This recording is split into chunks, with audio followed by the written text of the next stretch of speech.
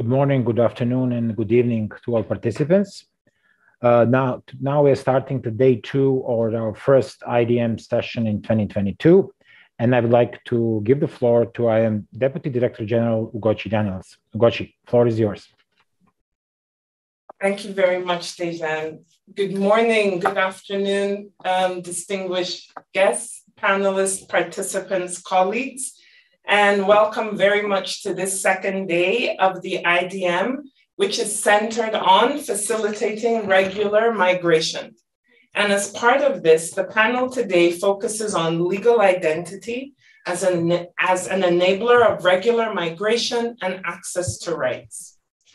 Access to other human rights does not depend on the possession of a registered legal identity by a competent authority, since all human rights are inherent to all people. Indeed, any individual exists before the law by his or her mere existence, Article 6 of the Universal Declaration of Human Rights, and legal identity conferred by a state is declarative.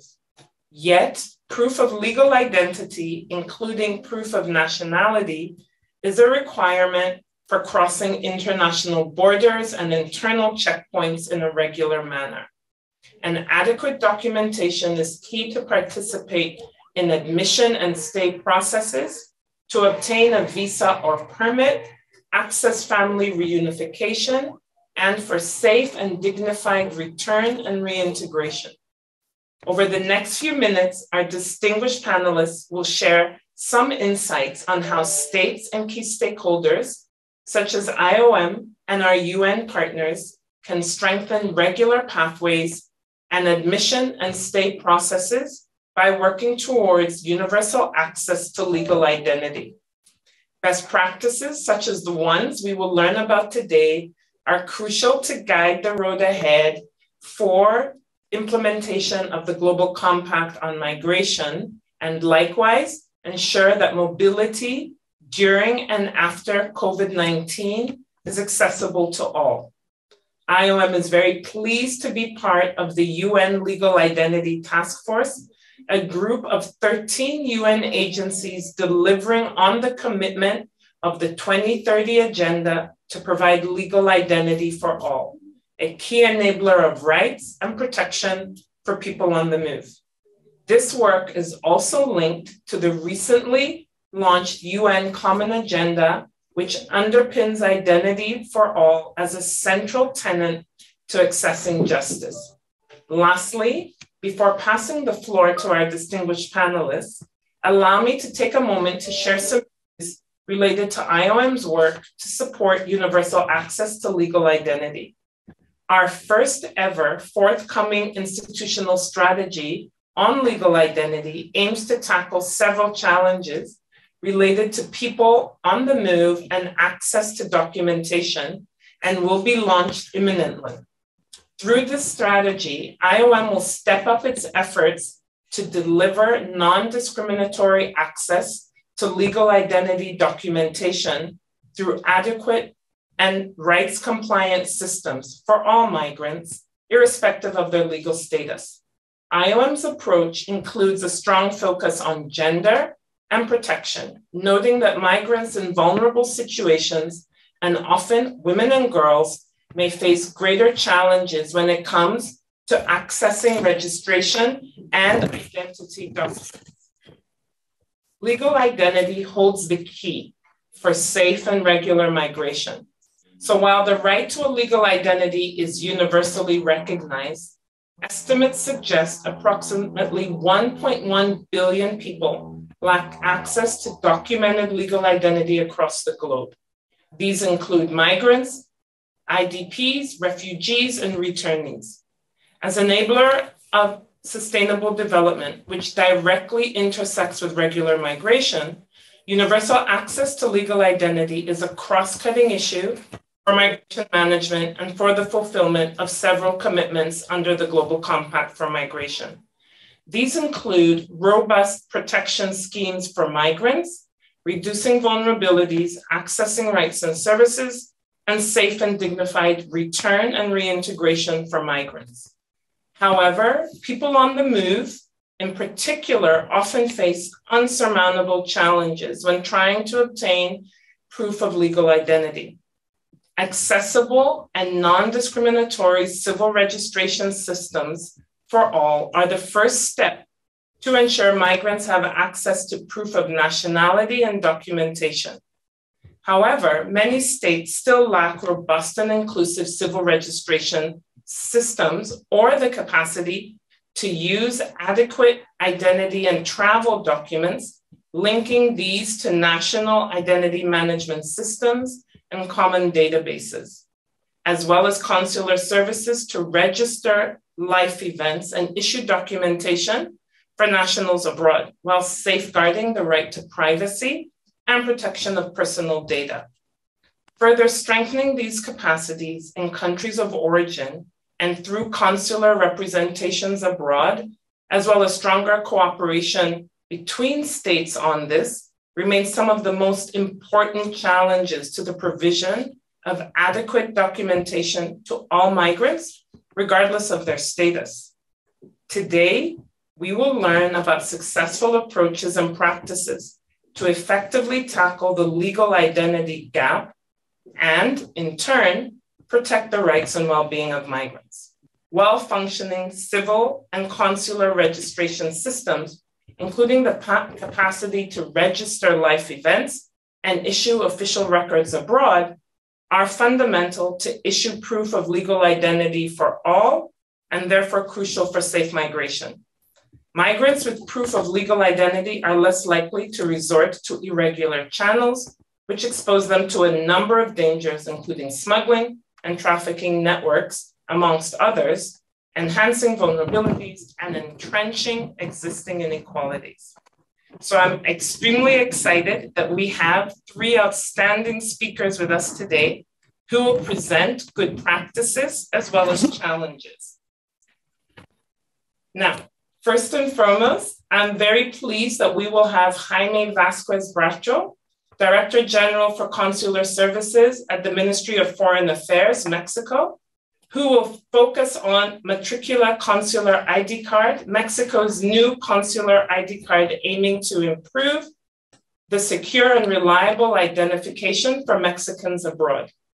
We will also have, we're also joined by Kristof Tamas, Senior Advisor, Ministry of Justice, Division for Migration, Sweden, who will contribute Sweden's perspective and best practices in achieving Objective 4 of the Global Compact on Migration, which is ensure that all migrants have proof of legal identity and adequate documentation. And last but not least, Niall McCann, Policy Advisor and Project Manager on Legal Identity who will bring UNDP's perspective looking at the common agenda goals and its work to support legal identity for all and how to leverage partnerships through the UN Legal Identity Task Force and how to improve registration systems, including civil registries and access to documentation systems to ensure they are rights compliant to address the legal identity commitments found in the SDGs and the GCM. So, um, welcome again, distinguished panelists. I'll start with Mr. Vasquez Bracho. Thank you for, again, thank you for joining us. In your capacity as the Director General of Consular Services, you've been coordinating migration, economic security, and health issues in close collaboration with the Consular Network of Mexico and the United States. So, with great pleasure, I'd like to invite you to present Mexico's experience in the implementation of the GCM Objective 4 to establish proof of legal identity as a policy priority, what key and what key operational and technical capacities are useful for countries seeking to improve access to civil registry systems and issuance of identity documents in particular regarding information and communication technology solutions with robust data protection measures?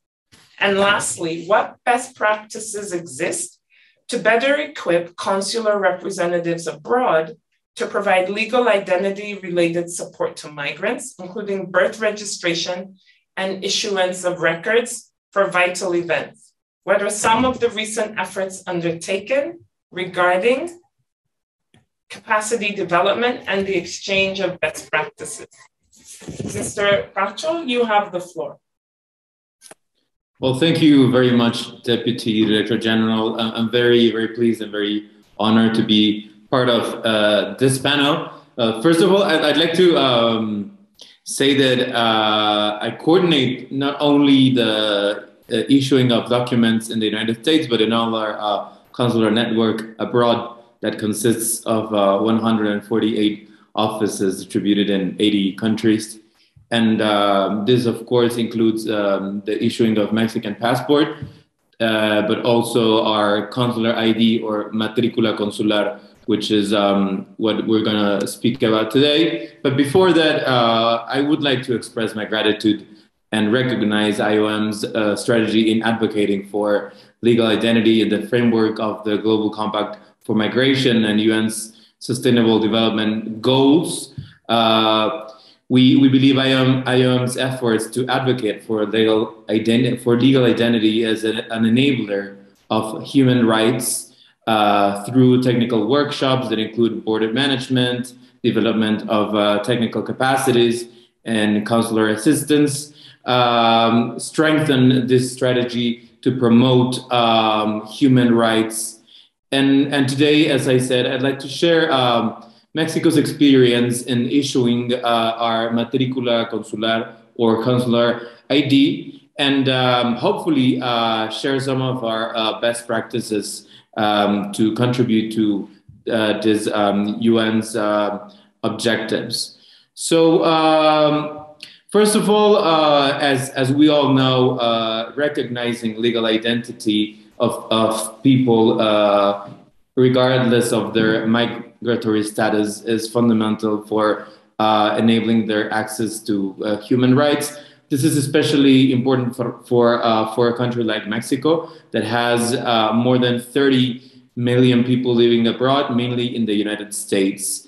Um, as we all know as well, uh, the lack of legal identity um, is a factor that promotes exclusion and discrimination of people. So it is vital that people have documents that uh, are able to uh, uh, ensure who, who they are and uh, are uh, allow them to identify themselves before authorities or uh, private entities.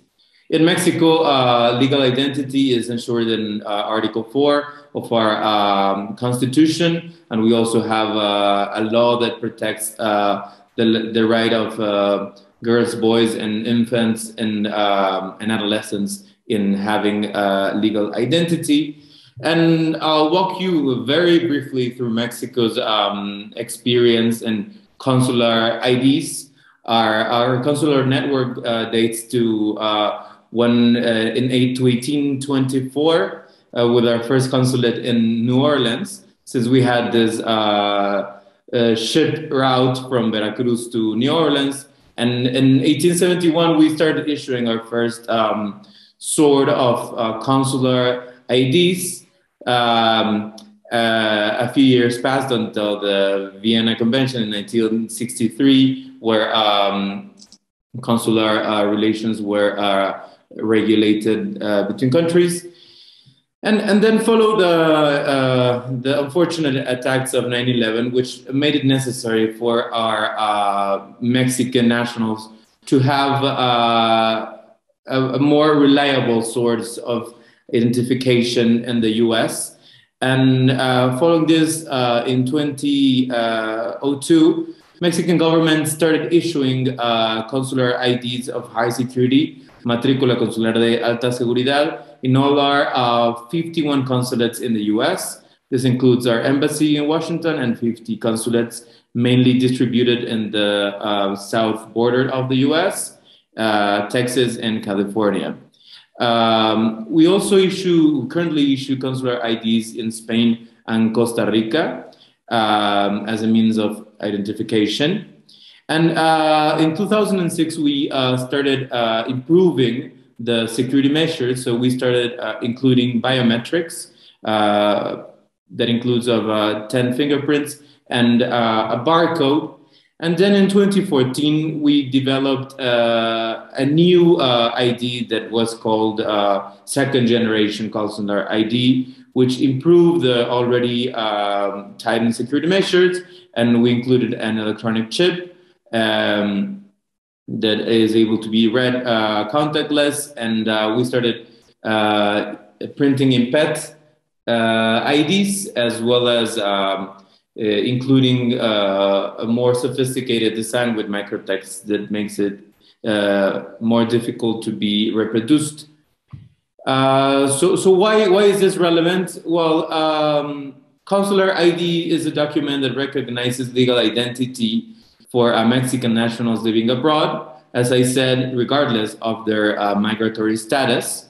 And this is not exclusively for undocumented uh, migrants, but of course, this is of extreme usefulness for people living uh, without documents abroad. And I would like to highlight four uh, benefits. And it, it is that um, it, it uh, requires less, less requirements than... Existen menos requisitos que una contraseña, es más económico. La matrícula consular en un plazo de cinco años cuesta 36 dólares en lugar que un pasaporte que cuesta sobre los 100 dólares.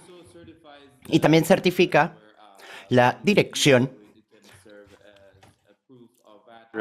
for uh, banks and other private entities. And also it's, it's, it's portable. So um, it's really practical for people to carry it around, whereas having a passport in your pocket can be uh, a bit of a, a, a hazard. And uh, for us, it, co um, it covers uh, census um, um, purposes as well as consular protection. And uh, as I've been saying, it's a form of ID not only uh, before government, uh, local and federal, but also for uh, private institutions. Um, consular IDs are accepted in hospitals, schools, police officers uh, for vaccination. They became relevant in the start of the pandemic. And um, we've been also um, working with banks to ensure they are accepted in Mexico and in the US. Uh, and currently, we have 10 states in the US that have a high degree of acceptance of uh, the consular ID. This includes California, Oregon, Washington, Illinois, Minnesota, Connecticut, Maryland, New Mexico, um, Washington, D.C., and uh, New York. And we have a mixed uh, acceptance in 41 states. And this includes uh, Arizona, which recently joined uh, other states that recognize our consular ID as an official ID. And uh, we're also working uh, with Mexican authorities also and also private entities to ensure that uh, Mexicans living abroad, when they when they visit Mexico, they're able to use that ID without having to um, go through the process of, of, obtaining a different ID in Mexico. So uh, finally, some really quick figures. Um, we currently uh, have, as of December 2021, around three million and a half consular IDs that are uh, currently valid. Uh, and during 2021, we issued uh, 700,000 consular IDs um, only in the US. This represents 24 of uh, documents issued in our consular network. Um, just an interesting figure. 57% um, of the people that have a consular ID are men, and 41% are women, and uh, only 1.5% are minors. And our consulates that issue the most consular IDs are uh, Chicago, then Dallas, LA, New York, and Houston. And then finally, uh, the way forward is um, in, in June 2022, we're launching our third generation consular ID that will have um, some uh, security uh, benefits. It will be printed in a polycarbonate card. That is the one that most um, e-passports use currently. Uh, it will be printed in the, with laser technique that makes it uh, virtually impossible to be reproduced. Without authorization, it will have an invisible microchip embedded in the document. And it will have uh, holograms and UV uh, reactive features. And it will also be, uh, be inclusive because um, it will include the option of uh, not revealing sex or gender or uh, marking an X in the gender or sex um, space for, for people that identify as a non-binary or gender non-conforming. And uh, it will be issued in any uh, consulate regardless of the um, address of the person that requests it. Currently, you can only obtain a consular ID and uh, your consulate uh, of address. This is if you live in LA, you need to um, to get your uh, consular ID in in the LA consulate. But uh, we're going to change that so so it's more flexible since we have a, a unified database.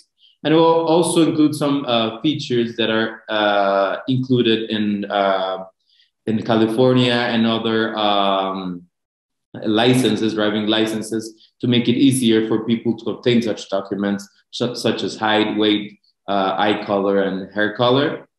And uh, finally, uh, we will uh, print um, minors' uh, parents or tutors or um, in the back of ID as a means of fighting um, human and child trafficking, which is uh, something that um, highly concerns Mexico.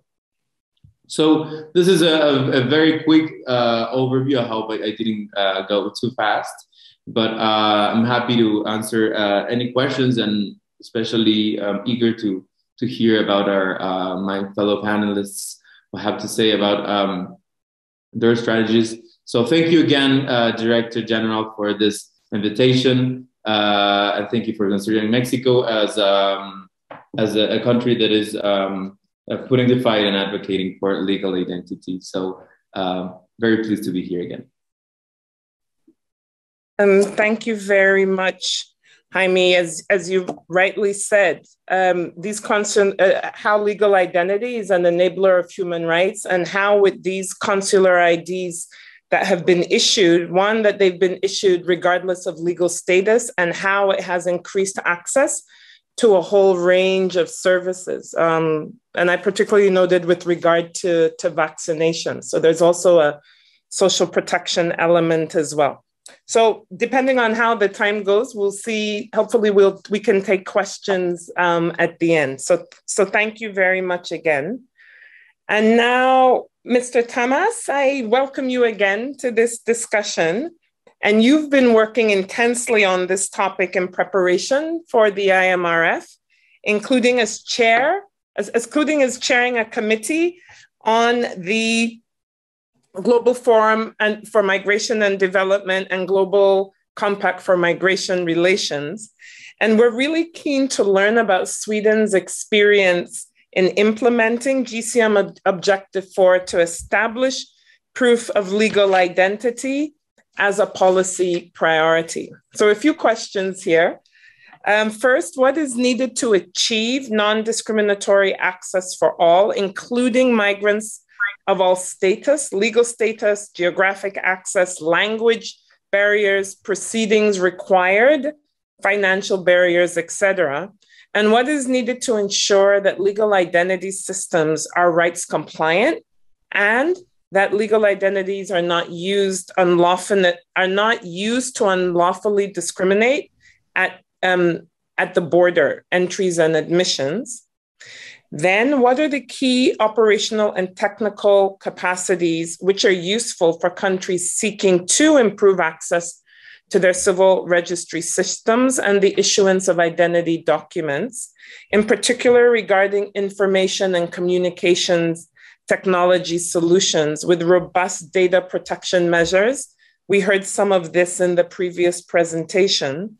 And what specific obstacles may prevent the inclusion of migrants in programs to increase their access to legal identity and documentation at their countries of destination?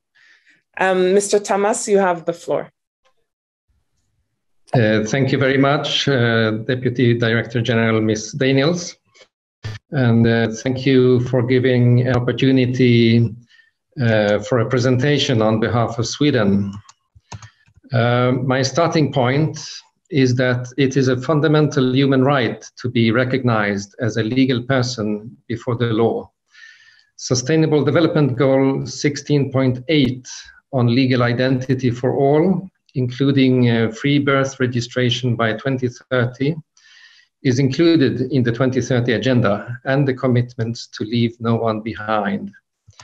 Proof of legal identity is a key requirement for accessing basic services and essential rights. This is also why states have committed within the Global Compact for Migration, Objective 4, to provide all their citizens with proof of nationality and civil registry documents such as birth, marriage, and death certificates. This should be available for migrants upon entry, stay, and return. For migrants, lacking proof of legal identity increases the risks of unsafe, irregular, and disorderly migration. It plays into the hands of human traffickers and criminal smuggling networks. They increasingly sell authentic travel documents under false pretense. They use fake birth or marriage certificates to obtain genuine documents or using authentic documents of lookalikes. Lack of legal documents makes it more difficult for migrants to reunite with family abroad and to return to their country of origin. It presents an additional threat to migrants caught up in crisis and disasters, as they may find it harder to access critical services, including international evacuation assistance. From a Swedish perspective, we appreciate the work of the UN Legal Identity Agenda Task Force.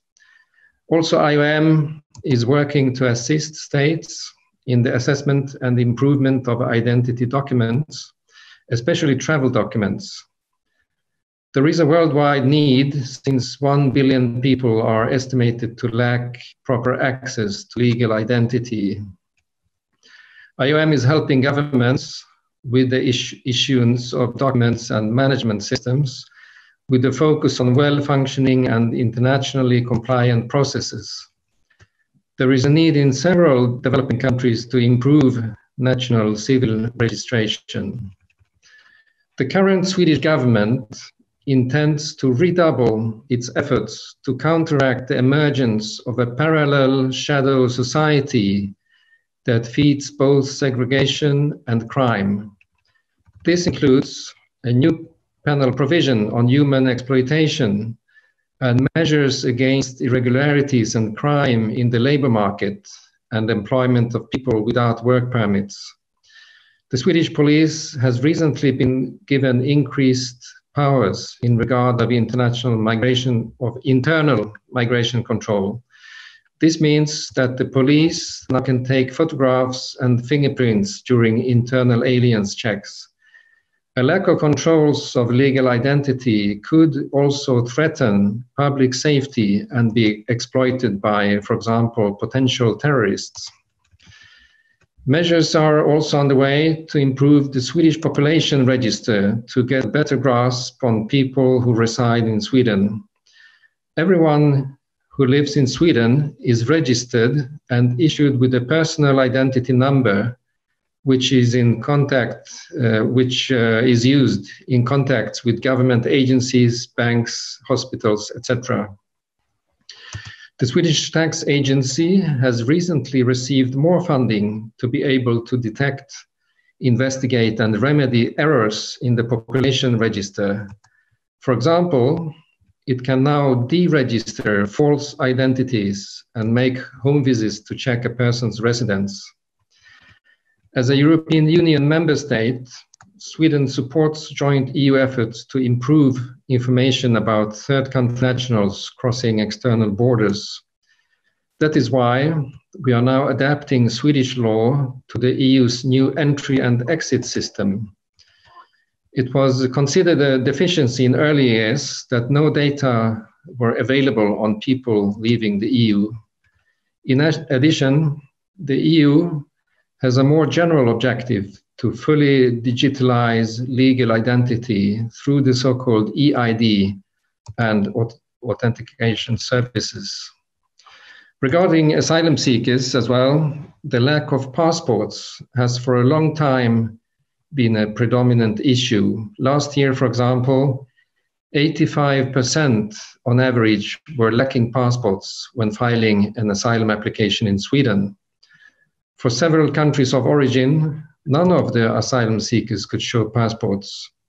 In some cases, uh, passports and ID documents are found later on so all these uh, issues require measures domestically as well as through international cooperation. Uh, now let me just give you three concrete examples of what the Swedish government has been doing. First, uh, the asylum seeker card.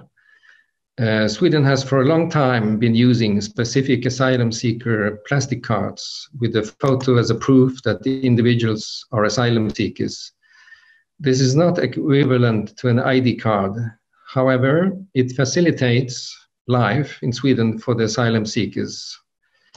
The card also contains information whether the asylum seeker has the right to work. The card is uh, helpful when contacting various uh, authorities and employers and when opening bank accounts. Asylum seekers also have the right to reduced fees when showing the card at the pharmacy. Uh, the 1st of January this year, the Swedish Migration Agency introduced a new form of the card, which also contains digital information, digitally updated uh, with a QR code. Uh, second, uh, the second example is the right to health care for asylum seekers and undocumented migrants. This is available since 2013, uh, as uh, undocumented foreign born persons have a legal right to subsidized care to the same extent as asylum seekers. This right covers people who stay more than just temporarily in Sweden without a permit it also includes um, those who abscond from the execution of deportation orders. Um, these individuals may have special health, health needs, though uh, they may have poorer access to health care due to a lack of legal identity, and it may also be more difficult to gain knowledge about the health situation in these groups.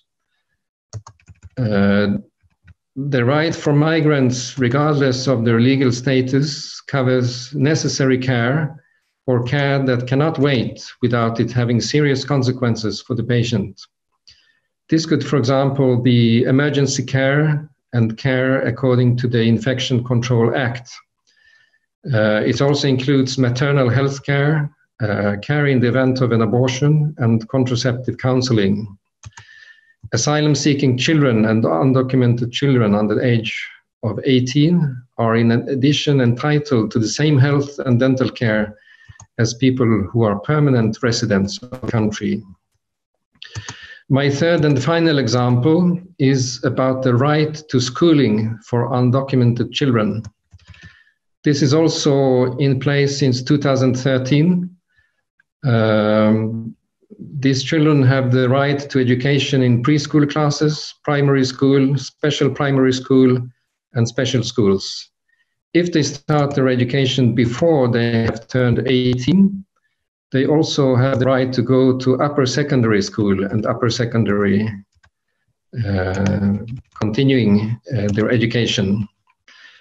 Uh, neither schools nor the Social Welfare Board have any obligation to notify the police authority regarding undocumented families.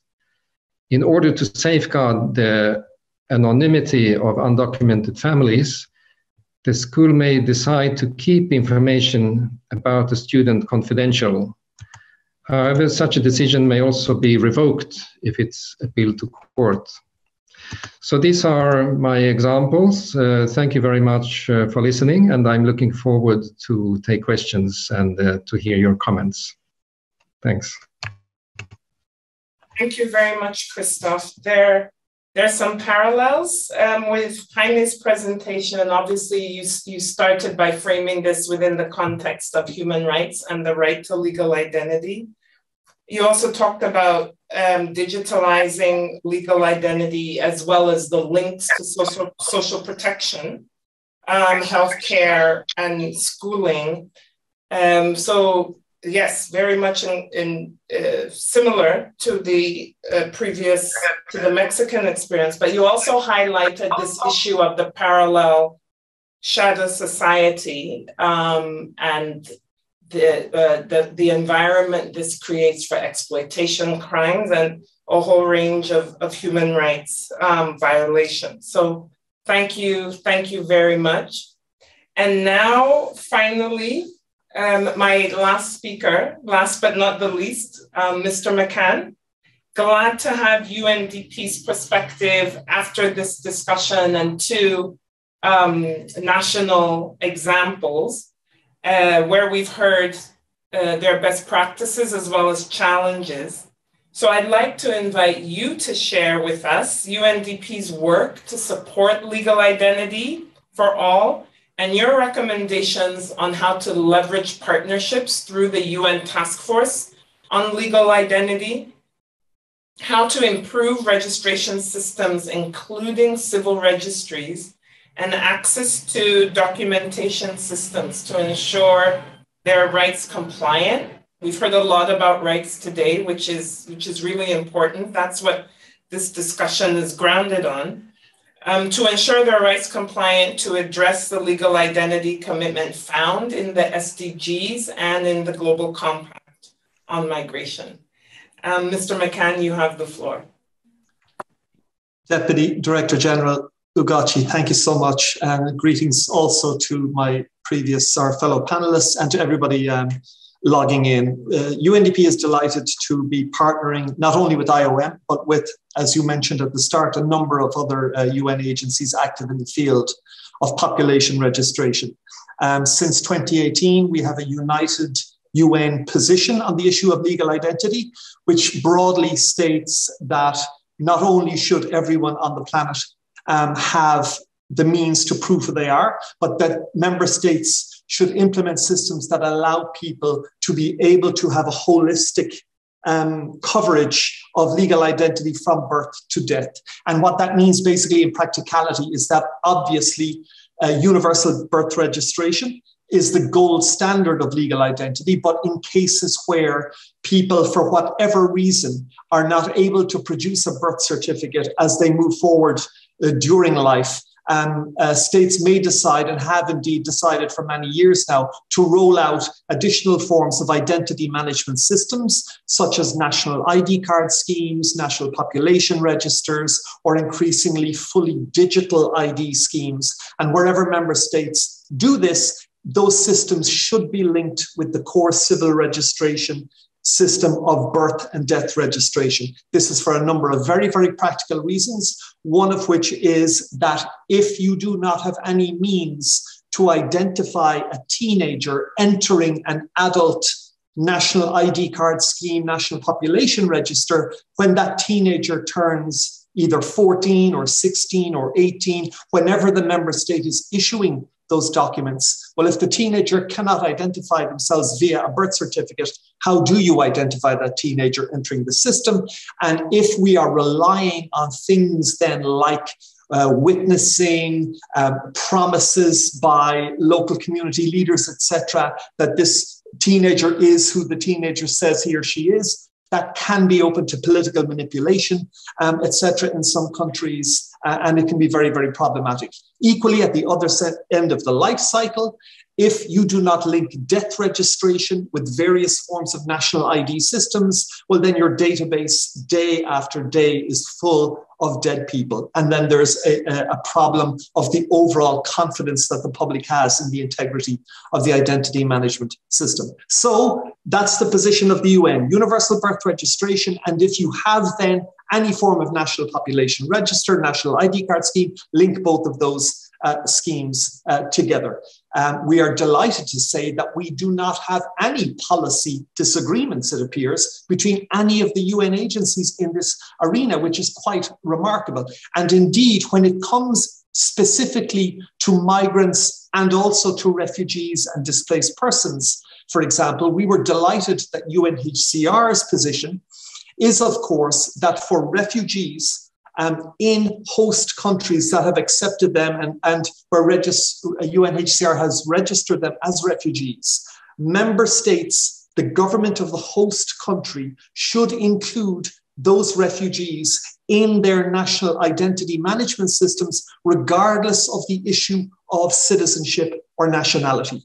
So, refugees should have access to birth registration, civil registration, death registration for any life events that occur on uh, the territory of a host uh, uh government. And UNDP, and I believe IOM, is happy to support that position as well. There are a couple of specific areas where I think the world can do better with regards to migrants, and in particular with regards to migrants in vulnerable uh, uh situations. As we all know, there are many, many migrants that end up in a foreign country and for whatever reason do not any longer have access to any form of identity documents. This can be because they've just been lost, or, of course, as we are all aware, uh, identity documents can get either stolen or indeed confiscated by employers or, or others manipulating the status of irregular and vulnerable uh, migrants. And when those situations occur, and in particular in countries where migrants do not have any consular um, representation, then there must be a way for migrants to be able to access and download digital versions of identity documents that will be recognized by the host country. And if we consider that all 193 member states of the United Nations have got together, and indeed additional uh, non recognized countries have got together under the auspices of the International Civil Aviation Organization. And we have agreed collectively as a world what technical standards for passports um, are. They are now universally standardized across the world.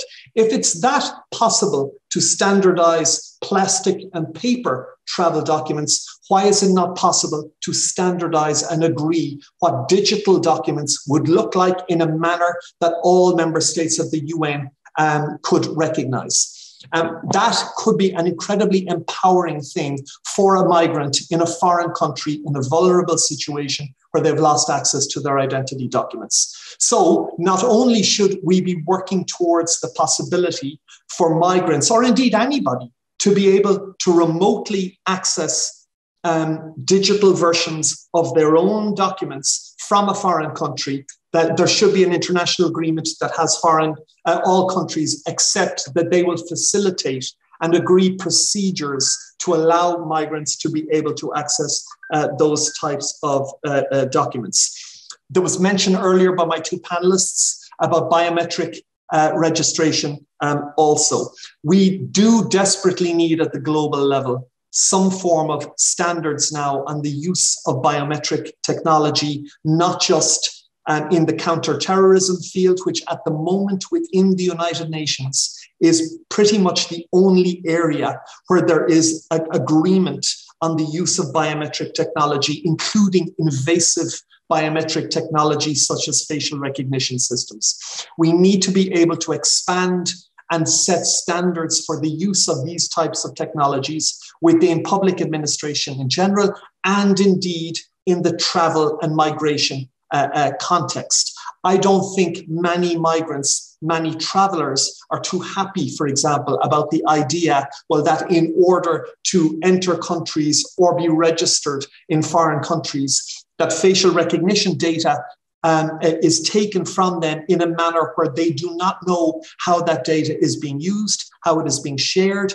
how is it going to be uh, uh, deployed. And in particular, we have to be realistic with the increasing advent of use of CCTV cameras and use of facial recognition systems, I don't think there has been enough global policy discussion about discrimination of migrants and foreigners when using that type of technology and an impact or, or, or the extent of surveillance on particularly vulnerable migrants uh, in foreign contexts. We need to expand that discussion uh, further.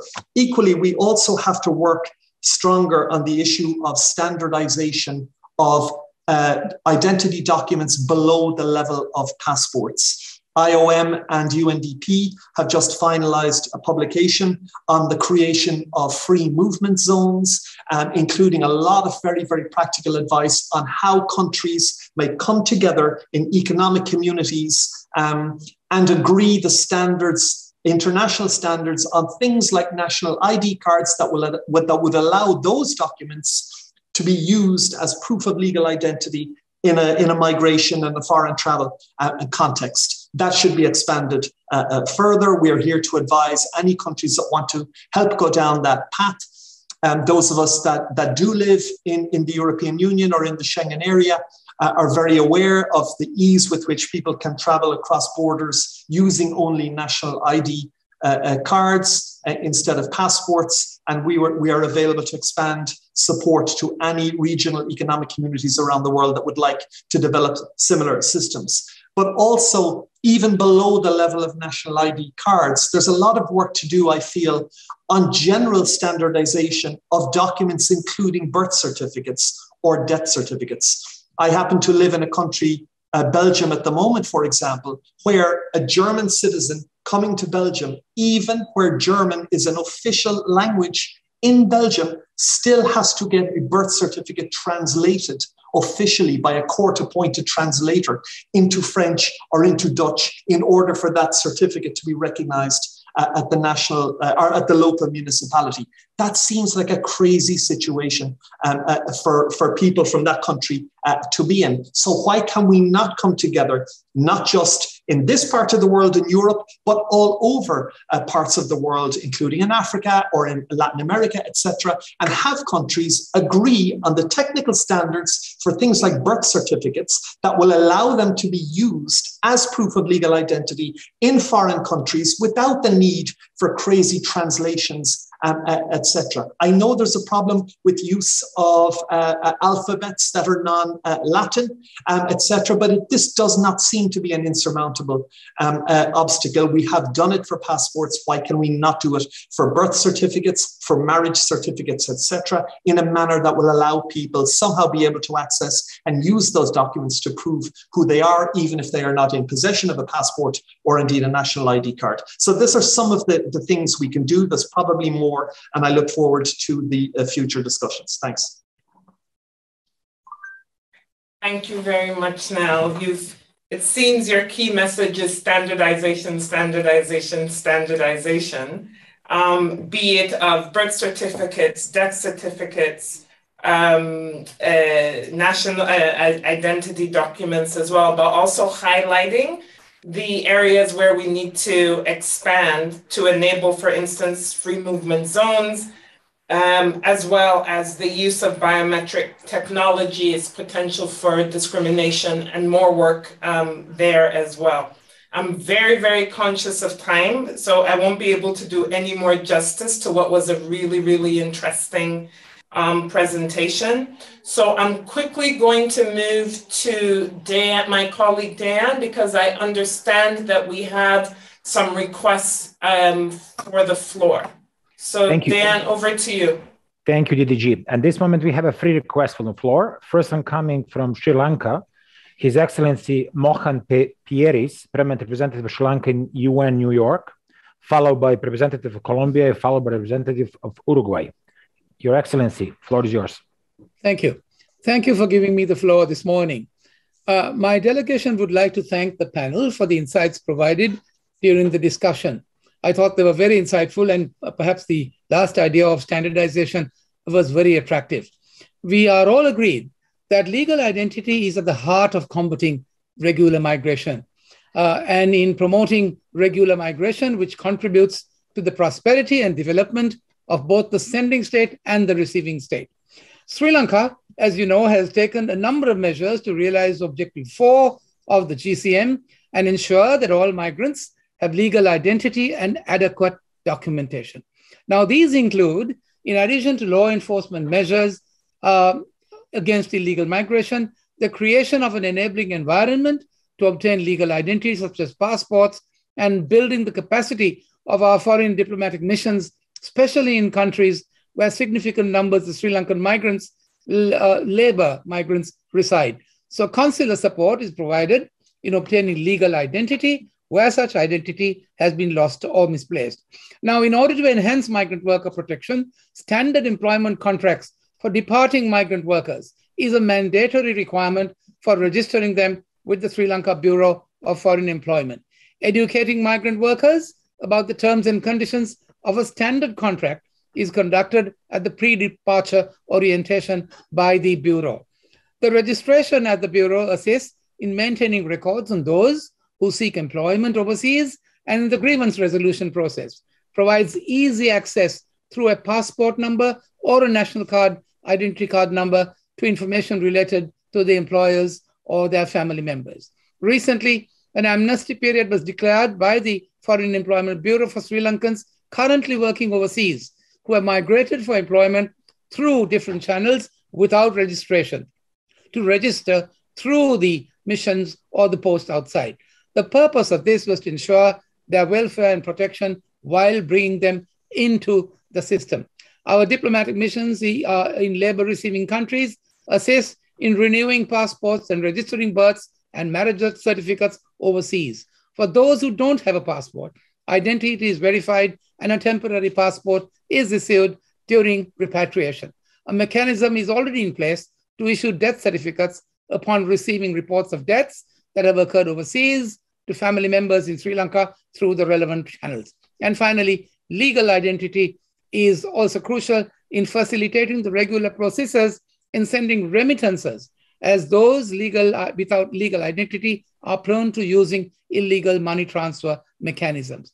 In the wake of COVID 19, Sri Lanka also launched a dedicated vaccination program for prospective immigrant workers to ensure they are fully vaccinated prior to departure. The government also recognized prospective immigrant workers as an eligible category to receive the popularly preferred Pfizer booster uh, in order to meet the requirements uh, of some host countries.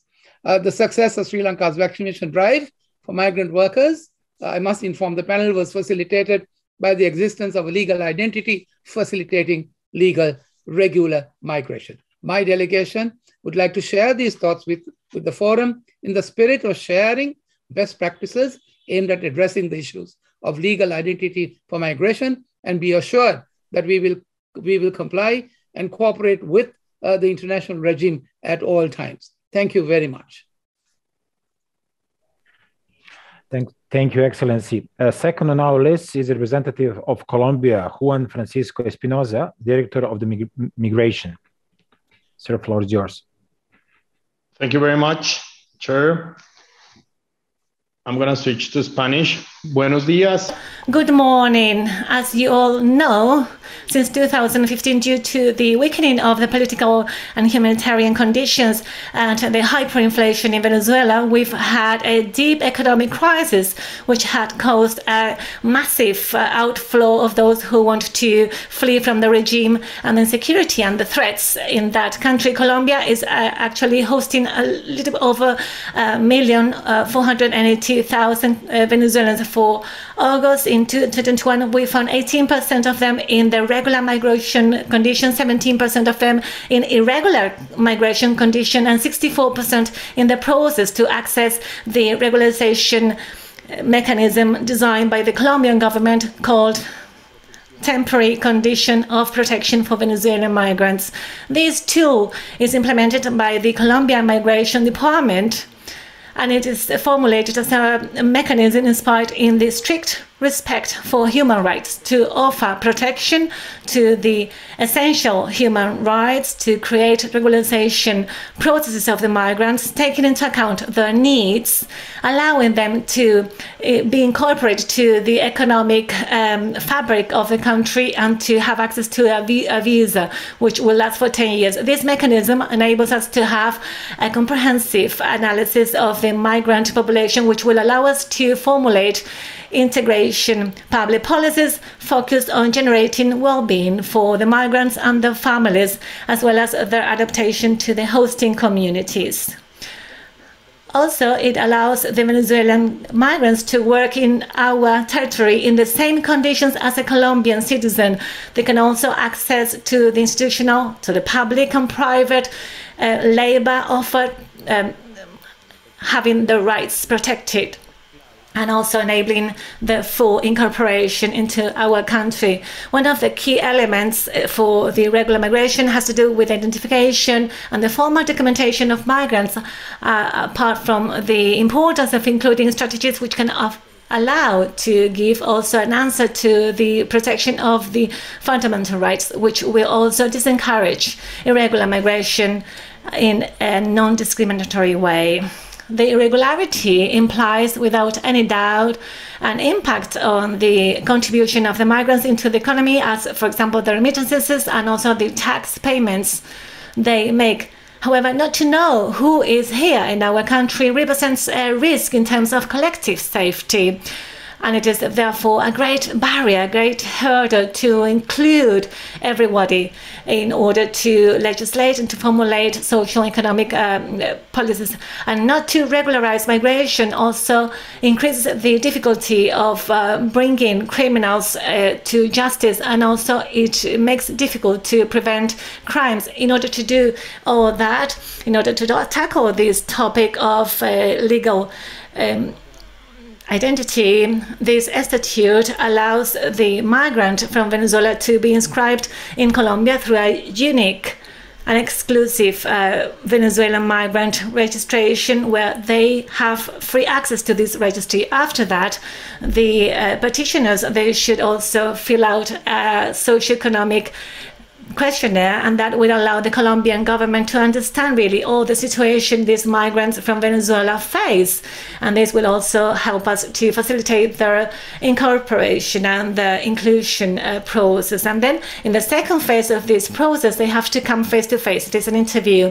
We also here in this stage two of the process, the migrants will go through a biometric uh, process and then they are given a document which is called the temporal permit, which allows the Venezuelan migrants to stay in Colombia in a special migration regulatory process until 10 years to build a better present and future. The issuance of this permit means the reestablishment of the dignity of the migrant with the plastic high quality document which is formalizing the rights and duties of these Venezuelan migrants here in Colombia. In this process, Obviously, this has allowed us to identify some implementation challenges like the um, obviously the budget development, the strengthening of the capacity and institutional uh, coordination problems like, for example, the um, migrant smuggling and trafficking and xenophobia, but we have received the international support which has allowed us to complement the actions carried out by the government and to create synergies among the different actors to move forward in an efficient way to develop policies which will safeguard the human rights and to lead efforts to mobilize a coordinated response in the benefit of migrants and the host territories.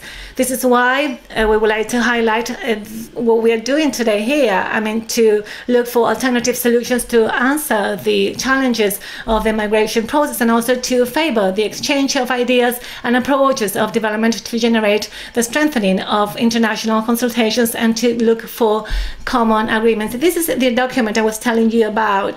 This is what we give to the Venezuelan uh, migrants. It's a very uh, solid, high quality document. Here in Colombia, we are proud of our uh, fraternal migration policy, which protects people and allows us to dream a better present and future for all of us. We will always be willing to share experiences. Thank you very much. Thank you for this opportunity. Good morning. Thank you. Uh, we still have actually five uh, countries that ask for interventions, and I would like to ask all to be brief as possible. We also need to go, come back to the panelists and ask for the final words. Uh, next on our list is Uruguay. Uh, First Secretary of the Permanent Representative Juan Riva. Thank you, and thank you also to the to Mrs. Deputy Director General for, for this opportunity. I'd also like to thank all the panelists for their very interesting insights and remarks on this matter today. And if you allow me, I will deliver this intervention in Spanish. Desde su misma adopción, Uruguay respalda el Pacto Mundial. Uruguay supports the, the Global Compact, which we believe is especially relevant and fundamental to have a basic document supported by the international community, which allows us to talk about on the same language when it comes to legal identity. So we would like to also thank you um, uh, the, for the support of the IOM in the whole of during this process, and specifically in this context of the health emergency.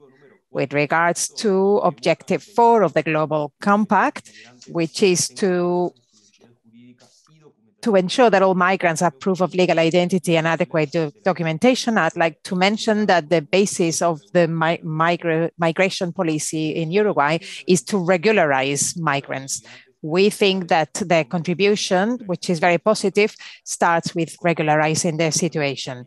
Having the relevant documentation allows the migrant to work, study, trade, access uh, health services, housing, and also to have the freedom to to uh, to be involved uh, within the legal framework of the country, and also to be able to provide its contribution to the society. The migrant allows accesses the processing of the identity document as soon as they start their residency. This allows them access to having services at the same uh, in the same conditions as other nationals.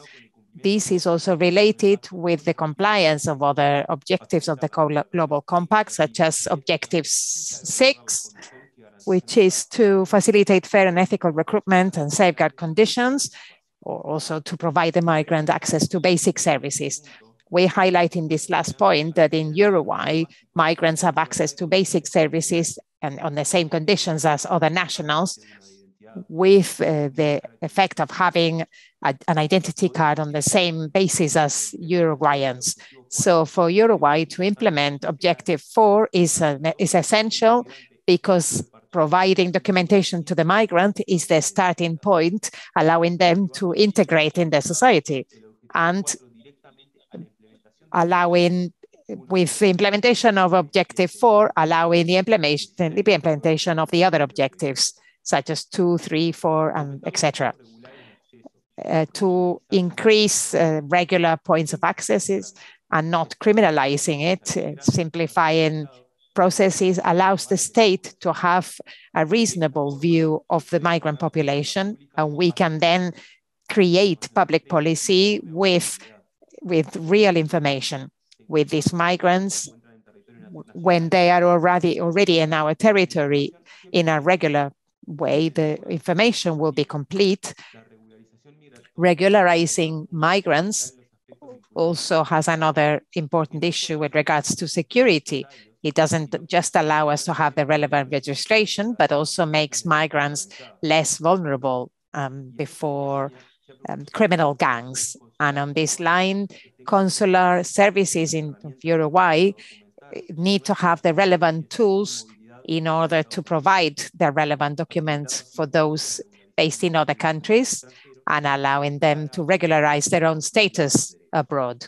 in order for them to access their rights the strategy of regularizing migrants in Uruguay has been recognized by international, international organizations on this subject, such as the IOM. And regardless of that, we do recognize the challenges involved in complex situations such as the current one. Uruguay commits itself to carry on, working on the multilateralism and international cooperation, uh, both at regional and world level. So in order to reduce irregular migration and to fight against smuggling and trafficking and other kinds of exploitation, and also to provide better consular assistance for migrants throughout their process. Mrs. President, we are at your disposal to share our experiences and to try to be the best partner we can be in this process. Thank you very much. Thank you, Uruguay. As we still have uh, four representatives to, to that ask for intervention, we'll ask each of them to be in one minute if possible. Very short intervention, please, we need to come back to the panelists. Next one in line is Chad, Representative Chad. Please go ahead.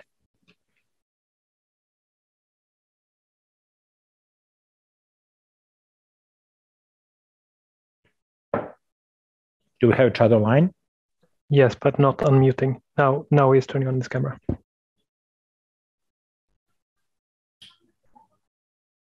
Bien, merci euh, de m'avoir donné la parole et merci aussi euh, de l'invitation. Thank you for inviting me and thank you for giving me the floor. First and foremost, I would like to share something with you. Um, an experience, more specifically about ID and documentation. They are the very basis of the legal identity of our citizens. And I would like to talk about the law on, uh, on ID documents in Chad, which aims at being a universal law for everyone, for all citizens in uh, the territory of Chad, for children, children of migrants. Who are born on our territory. And they are automatically registered in the database of birth and death. And it's free. Registration is free. It's the main principle of this law. Everything is free in the last few years we created a, a national office for uh, safe and secure uh, ID documentations. We decided to grant a specific number, ID number, for everyone living in the country. And we also have the possibility to to give like uh, travel cards and travel documents. So the migrants, and when we're talking about refugees, so we have a lot of refugees coming from various countries in Chad, and so we had a project.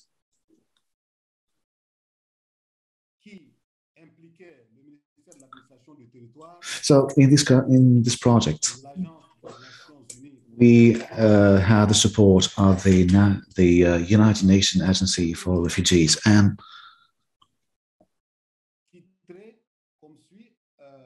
and this project was called the project to, to support citizenship and and fight statelessness.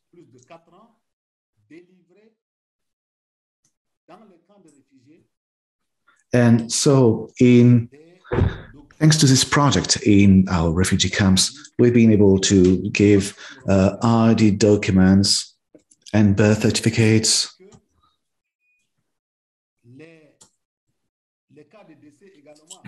And also death certificates. So we wanted to make sure that people, uh, to make sure that they had, everyone had a death certificate. So the Ministry of Security and Safety uh, in charge of uh, migrations.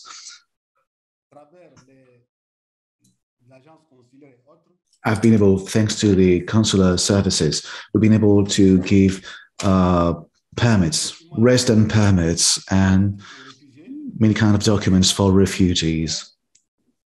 And we're here for that. Everything ran smoothly, and the facilitation of the the Chadian government is in the right line with the global compact for migrations. So today, as we speak, Chad is complying with this convention for migrations. And we're adapting our laws to cope with the current situation and to, to fight uh, smuggling and human trafficking. We aim at guaranteeing the rights of migrants and their families thanks to uh, a bill that may will soon be voted. I don't want to spend take too much of your time, but these were a few examples I wanted to highlight for you and to say that Chad is working hard and we are working on this. I would like to thank you very much and looking forward to talking with you again. Thank you very much. I'd like to thank you to Chad, but unfortunately, concerning the rest, we still have the the, the basically more uh, Venezuela, Guyana, and Portugal, and, and unfortunately, already run out of the time. I'd like to return back to the panelists for a concluding remarks, and would like to hand over the floor to Monica Goracci, our DMM director. Please. Thank you very much, uh, Dan, and uh, good morning and uh, good afternoon to everyone. It's a pleasure for me to be able to uh, be with you in this uh, this concluding uh, concluding um, moment of this very important panel. And I would like to ask our panelists for a last uh, maybe a couple of words um, on legal identity, especially as we gear up towards IMRF. If you think about what you hear heard today and your perspectives, what are your wishes for the IMRF? And I would like to start with uh, uh, Jaime Vasquez Bracho. Well, thank you very much. Um, I think uh, one important aspect that has been highlighted uh, during the panel has been digital access to legal identity. And that is something uh, we could all work on. But not only digital access, but also a mutual recognition of digital uh, IDs and, um, and means of um, identification. So I, I, think that is uh, something that uh, we can work uh, on with, with, the help of UN uh, migration and um, IOM. So I would just like to leave it there and uh, say that we are currently working on uh, sophisticating our uh, um, digitalization processes to be able to uh, not only uh, access, not only renew our consular IDs, but also to to have some sort of electronic access to them. So I will leave it there and, and thank again IOM for the opportunity to um, share our experience in issuing consular IDs. Thank you very much, uh, uh, Mr. Bracho. I, I think, yes, digital uh, solutions are definitely very important. And, uh, and especially now, what we've seen in the past couple of years, we've been relying so much on digital, on our digital uh, communication and, and work. So this is something that we'll certainly take away. Um, Mr. Tamas? Uh, thank you. Yes, uh, I would like to refer to what uh, Mr. McCann, UNDP, said about uh, documents below the level of passport or ID cards, uh, because this is also important uh, in order to counteract the shadow society in Sweden, one example of this is the so-called coordination number. This is used for individuals who are not formally registered in Sweden. And the purpose of the coordination number is to meet the authorities' need for clear and uniform identity for those persons. A coordination number does not in itself confer any rights or benefits, uh, thanks to recent legislation in order to reduce the risk of misuse, uh, the Swedish tax agency has been able to suspend a large number of obsolete coordination numbers uh, to ensure that everybody in the country has a le legal identity.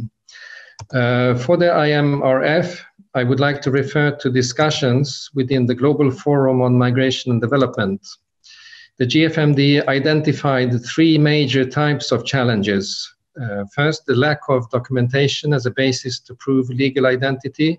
Second, migrants who deliberately move without documentation. And third, the difficulties of effectively advising migrants on their rights, obligations, and methods of seeking support. So, the final uh, conclusion is that the international cooperation should assist uh, migrant source countries to ensure broader delivery of authentic birth certificates, ID cards, and travel documents. Thank you very much. Thank you very much, uh, Mr. Tamas. These are very important points, and uh, both in terms of the work that we need to do on capacity development, but also addressing the shadow, uh, which is the shadow world that many migrants are in, which is something that affects many different areas of migration. And that is so important also to combat irregular migration. So these are, are very uh, important points. And so I would like to go to my colleague from UNDP, Mr. McCann, for your wishes for the MRF before we conclude this panel. Thank you. Thanks a lot, Monica. Um, wonderful examples from Mexico, Sweden, Colombia, Uruguay, Chad. Um, uh, please remember as well a point I didn't get to mention earlier. The, the world, we need to do more policy work on the issue of identity documents issued by non state armed groups, uh, an incredibly complex uh, issue. No baby, no child born um, in a territory under uh, the administration of a non recognized armed group should suffer from the lack of, of legal identity because we don't recognize the authority of the armed group issuing documents. Um, and that's a, a, challenge a lot of member states are having at the moment, and we need more international agreement on this. Let's not also forget global migration is going to accelerate. It's not going to decelerate. Um, temporary migration is going to accelerate and not decelerate we are not speaking just of uh, workers like agricultural workers, seasonal agricultural workers moving forward.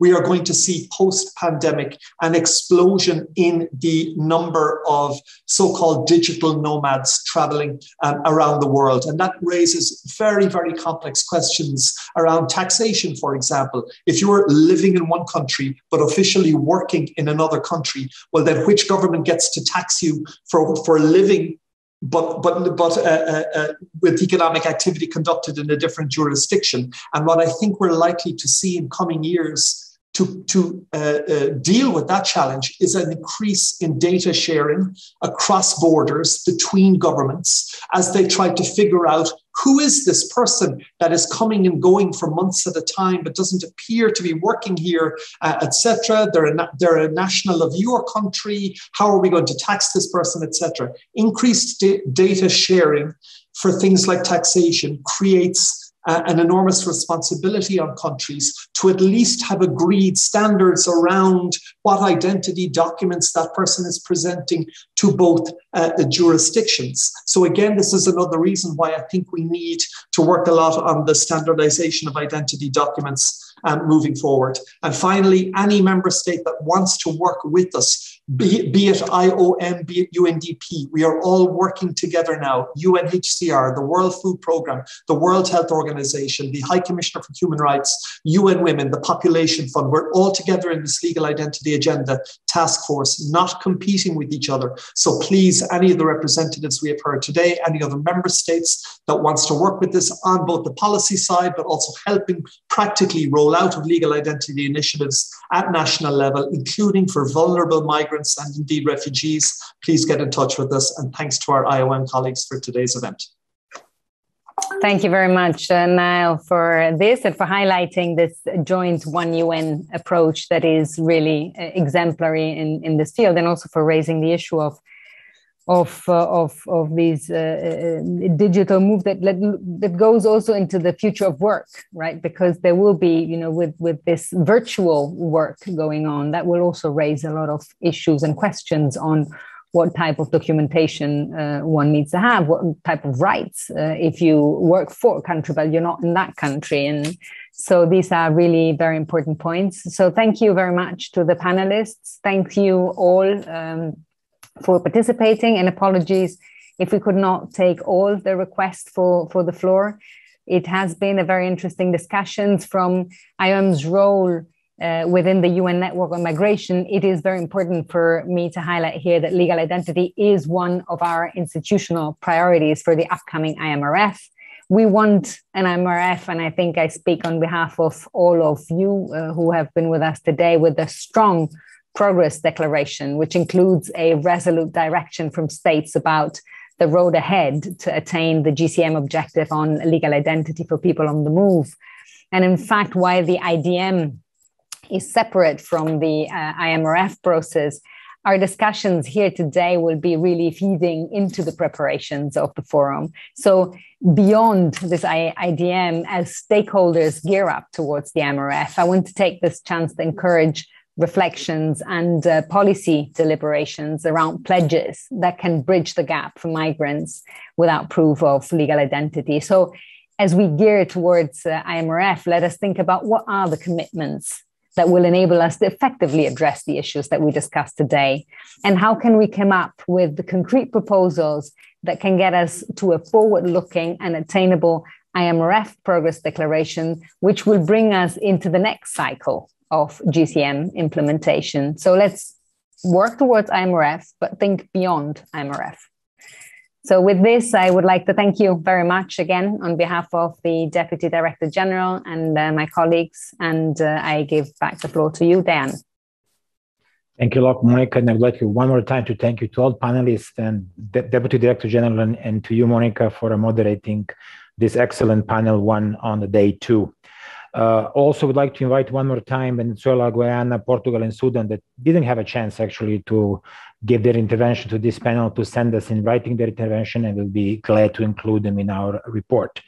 Uh, now we are transiting to the panel two for uh, today of what is uh, with the title Enhancing Predictability and Addressing Inequalities for the Future of Human Mobility in Pandemic Era. And uh, with this, I would like to give the floor to the next moderator, uh, what is the, the, the Meghan Benton, uh, Director of, of Research, MPI International Program, MPI Europe. Megan, floor is yours. Thank you, Dan, and thank you very much, everyone. Uh, welcome, Excellencies, distinguished guests, participants, panelists, and friends. Uh, welcome to this panel on enhancing predictability and addressing inequalities for the future of human mobility in the pandemic era.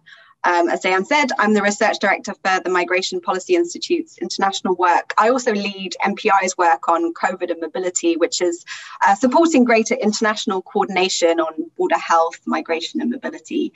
I also co authored the joint uh, MPI IOM report on COVID 19 and the state of mobility, which was kindly included in the proposed uh, resources. Uh, so I'm delighted to be moderating this, this panel today, which will consider evolving requirements for travel and admission and their impact on migration and inequality, uh, as well as how the UN system can promote migrant inclusion through pandemic preparedness and response. Uh, I know yesterday we heard about very, very concrete steps to reduce risks and vulnerabilities for people on the move, but uh, today is really an opportunity to think ahead to how we build durable systems that facilitate mobility both, both today and in the future. Um, of course, the pandemic has illustrated just how essential migrants are to their societies and the vital role they play across many economic sectors. Uh, the pandemic cast the often invisible work that migrants do as teachers and agricultural workers and, and care workers and cleaners into, into stark relief. Um, but people on the move were, of course, also disproportionately affected by the harms of the pandemic. They were more susceptible to job losses. They were often more exposed to the virus by virtue of being in frontline occupations. And of course, the millions of migrants left stranded was one of the early, most painful scars of the pandemic. Many of these inequalities have lasted through the second year of the pandemic or have been replaced with new ones that continue to be very troubling today. People on the move often suffer inequities in access to healthcare, in opportunities to social distance, for instance, because of congested housing or working conditions, inability to self isolate and bear the costs of not working. And they were often excluded from social safety nets, from stimulus and social protection uh, packages to unemployment, making them particularly vulnerable to the socioeconomic impacts of the pandemic. Now, these things are wrong in themselves, but they're also counterproductive. They create the conditions for COVID 19 and other pathogens to spread. And of course, vaccination has been one of the great dividing lines of equity in the second year of the pandemic. While some countries have chosen to vaccinate migrants and refugees alongside uh, nationals, uh, in others, only those with a regular status are eligible. As of December, out of 180 countries, territories, and authorities, 132 included refugees in their vaccine rollouts, 149 included regular migrants, and 84 included irregular migrants too. And this is, of course, against the backdrop of the fact that only 13% of the population of low income countries has been vaccinated. So, as many governments and authorities are moving towards vaccination requirements for crossing borders, as well as imposing often costly testing requirements, this is making cross border movement more costly and unequal. And of course, the big concern here is that rising costs of travel and, and regular migration routes create incentives for disorderly, unsafe, and irregular movement, or create the fertile ground for smugglers and traffickers to um, exploit. So what we want to discuss today is how to ensure that the process of building back after pandemic and planning for the next pandemic really embeds people on the move at its heart. How can we ensure that requirements for travel and admission um, don't further entrench inequalities in accessing regular migration? How can governments and the UN system strengthen mobility governance, especially as it relates to public health equity concerns and establish a more resilient global mobility system for the future? And how, in this age of pandemic, can we keep our eyes on the prize of the GCM objectives and the goals of reducing inequalities as outlined in the 2030 agenda? So I have a terrific panel with me today to help address these questions. Um, His Excellency Ambassador Rongvudhi Virabutr is the ambassador and deputy permanent representative and charge d'affaires of Thailand to the United Nations in Geneva. He previously served as the director of economic division at the Department of ASEAN Affairs and director of the Division of Development Affairs, Department of International Organizations, and in numerous other diplomatic postings in Europe and Asia. Dr. Nedret Emiroglu is the Director of Country Readiness Strengthening for Health Emergencies at the World Health Organization, her department is responsible for building core national capacities to mitigate and respond to emerging risks and vulnerabilities, especially as relates to vulnerable and low capacity countries. She's had a long and distinguished career in public health and development and communicable disease prevention, including in the Turkish Ministry of Health and at the WHO Regional Office for Europe. And His Excellency Ambassador David Donoghue is Distinguished Fellow at the Overseas Development Institute. He was Ireland's ambassador to the United Nations in New York, where he co chaired three major UN negotiation processes, including the negotiations that led to the agreement on the Sustainable Development Goals and the wider 2030 Agenda for Sustainable Development in 2015 and the New York Declaration on Large Movements of Refugees and Migrants in 2016, which led to negotiations on the two global compacts. I want to first turn to Ambassador Virabutr. Uh, could you talk, please, about how Thailand has promoted safe, healthy, and orderly migration in the pandemic response and work to ensure that migrants are included in health systems? Ambassador Virabutr, the floor is yours. Uh, thank you, Madam Moderator, and uh, distinguished panel members, distinguished participants, colleagues. It's my pleasure to be part of today's discussions on a topic relevant to us. I'll try to address two questions that are posed by moderator. So based on Thailand's experiences, the key answers are migrant inclusive and cooperations, which I shall uh, elaborate more on this. Migrant workforce has been one of the indispensable driver of Thailand economies. During the COVID-19 pandemic, their life has been heavily impacted. Thailand therefore implemented a number of measures to reduce the vulnerability and to ensure safe and healthy condition of migrant workers. We believe that they could serve as example of how to improve the predictability of human mobility in time of crisis. And first, predictability can be increased by creating regular pathway. National efforts could be supplemented by bilateral or regional corporations. Thailand has therefore concluded labor MOU with our neighboring countries as a clear demonstration of regular pathways based on bilateral cooperations. During the COVID-19 pandemic, the border lockdown prevented workers return to their homeland. Thailand introduced temporary visas or work permit extension to prevent them from becoming illegal. We also allow for registration of undocumented workers from Cambodia, Laos, PDR, and Myanmar who were staying illegally in the countries. Having migrants on records help increase the effectiveness of migrant management and reduce the vulnerability of migrants and improve their protection. Second, the predictability could be enhanced by efforts to increase access to basic services and social security for migrants. Healthy migrants can better contribute to the society they live and help improve public perceptions as well as reduce inequality in the society in line with the objective 15 of the GCM. Thailand is committed to enhancing access to health services for all, including migrants, to the universal health coverage policy. Two health coverage schemes are offered to migrants, including the Social Security Scheme for migrant workers in the formal sector and migrant health insurance card available as an option for registered migrant workers in the informal sector, undocumented workers, as well as their dependents, irrespective of their documentation status, at a very affordable cost of around 40 US dollar per day per year. To assist migrants in overcoming practical barriers such as language and lack of information, the government has further formulated the policy to promote migrant-friendly health services.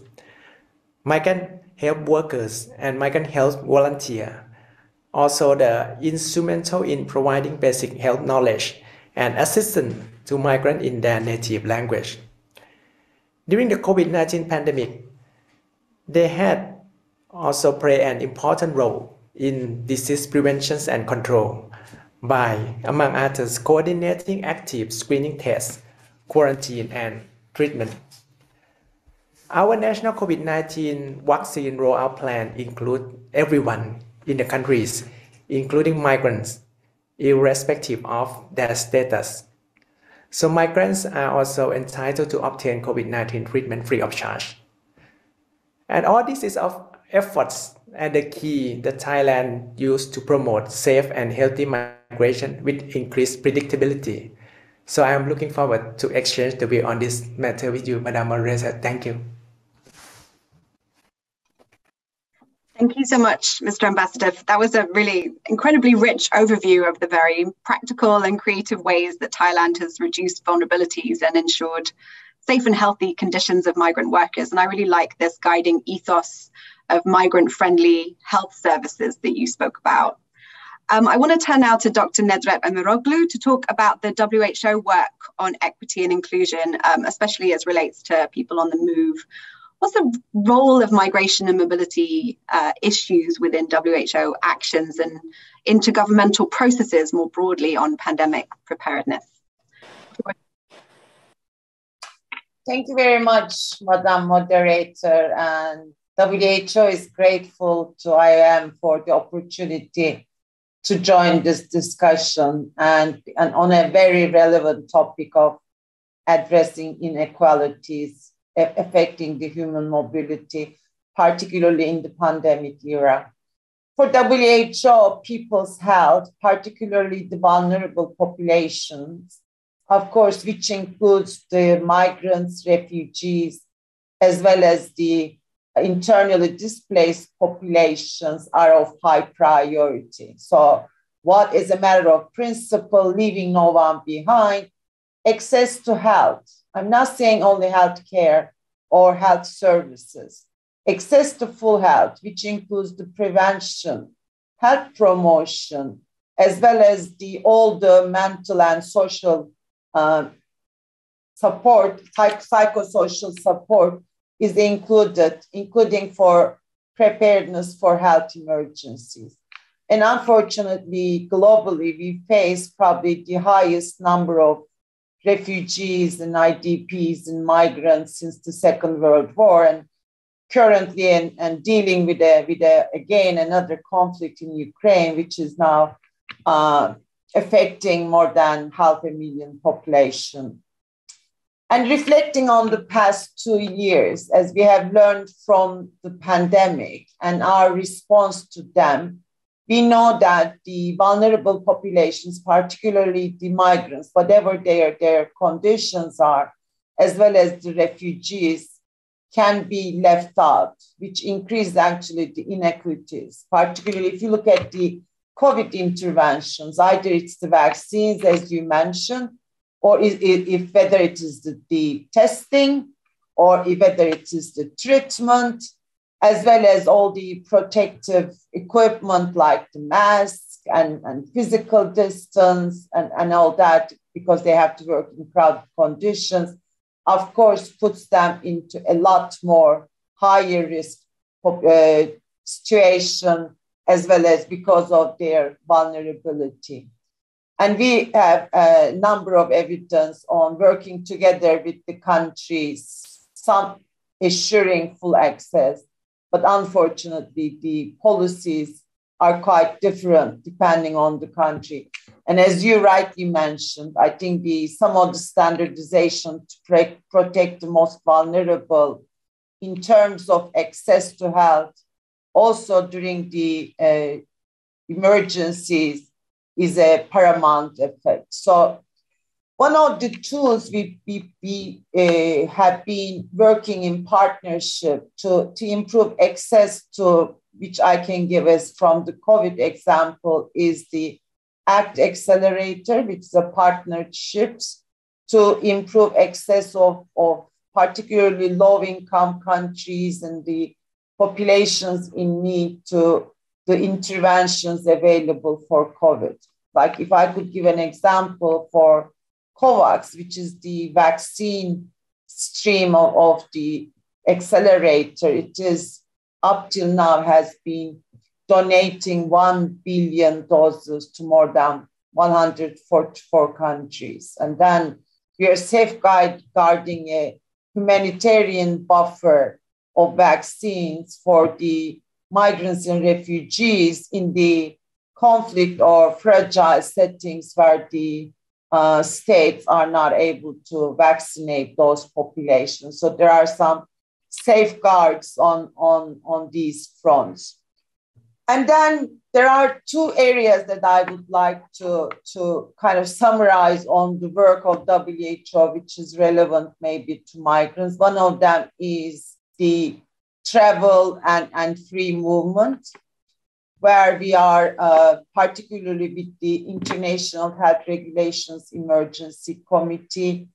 WHO calls on countries to lift or ease international traffic bans, particularly the blanket travel, travel bans, and also supporting the countries not to request the proof of COVID vaccination as the only pathway to enter or exit from a country. Again, that something has been restricting some of the uh, population movements because of global access and inequitable distribution of COVID vaccines, and also requesting every country to recognize WHO list in the emergency list of vaccines, not differentiating from, from those ones.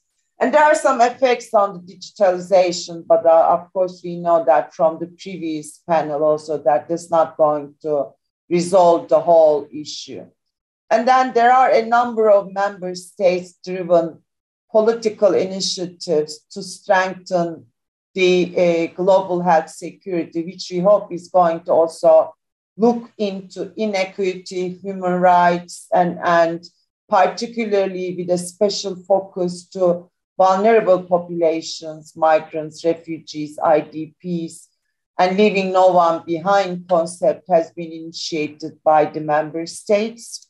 One of them is looking into the uh, WHO preparedness and, and response to health emergencies working group. This working group is reviewing all the recommendations from different external bodies and panels to be able to uh, recommend a set of uh, measures that the countries and also the international organizations, the, the, including the UN agencies, needs to take.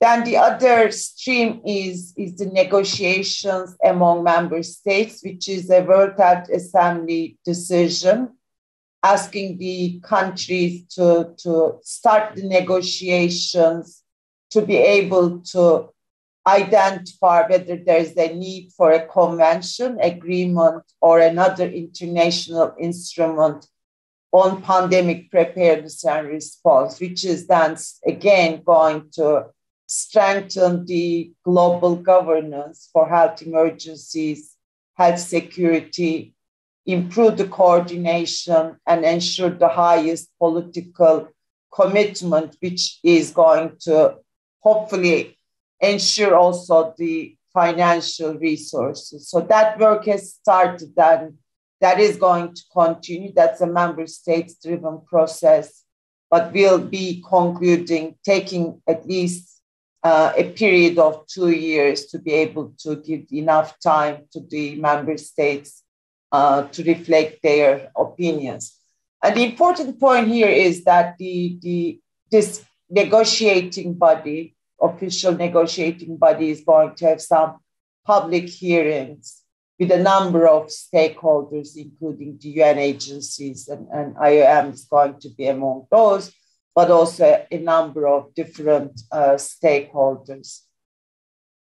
So I would like to just concluding that you know we need to work together. I think coordination at the global level has been critical, and that has been proven to be quite strong in the pandemic among UN agencies, but also other associations and philanthropic organizations, as well as a broad range of partners and uh, WHO is committed to improve the, the preparedness for emergencies, for future potential pandemics, again, putting people at the center, particularly the vulnerable populations.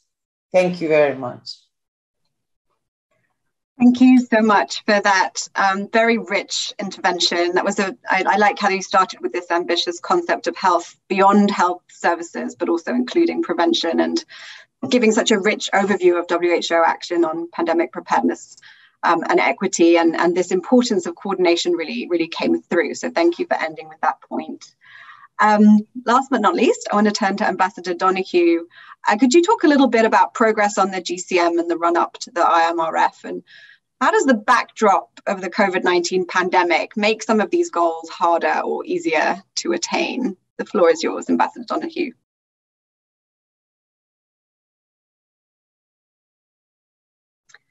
And you are still muted. Thank you. I okay, you, you can hear me now, can you? Okay. Great. Well, first of all, um, it's, it's, a great pleasure to be here, and uh, I wanted to congratulate you on that uh, MPI IOM report. I thought it was excellent, and uh, it sets out in in great uh, uh, detail the the range of inequalities from and vulnerabilities from, from which migrants have been suffering uh, during the the pandemic. Um, I think that it brings into focus how far we have still to travel in relation to the inequality goal, goal 10 of the SDGs. Uh, it was no accident that we inserted migration uh, under that inequality goal or reducing inequality.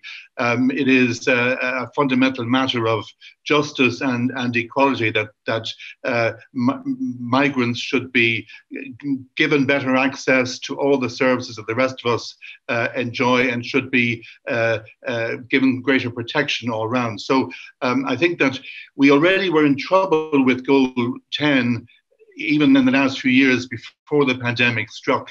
And since the pandemic, it has uh, all of these uh, inequalities have been exacerbated. I hope that this will be a top priority for the IMRF. Uh, I've, I've, no doubt it will be. Um, and going on from that, really, uh, the HLPF, the High Level Political Forum, is another context in which we can try to address the fundamental inequalities we're talking about, suffered by migrants because of uh, COVID. We have an opportunity in the high level political forum each year, in my view, not only every four years connected with the uh, with the IMRF, but we have an opportunity every year to draw more attention to the uh, to the policies required to support migrants worldwide. I mean, I have felt that perhaps more use could be made of the machinery for SDG reporting, um, both from a practical point of view, in the sense that uh, the HLPF gives us an opportunity every year to talk about what countries are doing, but also perhaps from a political point of view, there may be advantage for some countries in presenting what they are actually doing on, on migration as uh, uh, something which furthers SDGs implementation.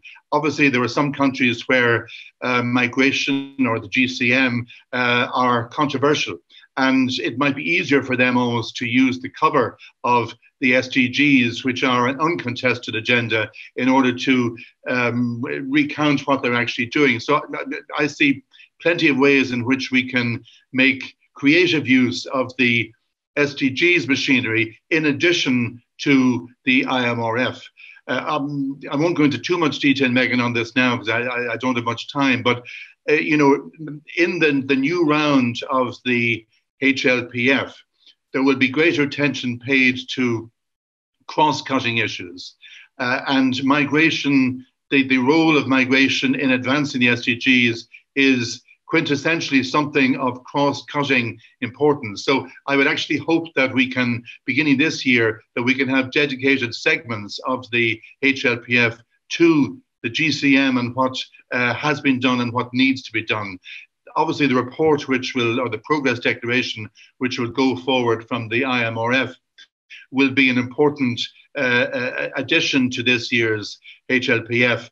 But there's a lot more that can be done by countries nationally in their own national reviews uh, to draw attention to what they're doing on GCM. I just think it's it's a fairly obvious um, uh, extra resource, but we need to emphasize it from time to time that the, the two processes were always meant to be complementary. That's why there are so many references to the 2030 agenda in the Global Compact and indeed in the New York Declaration before that.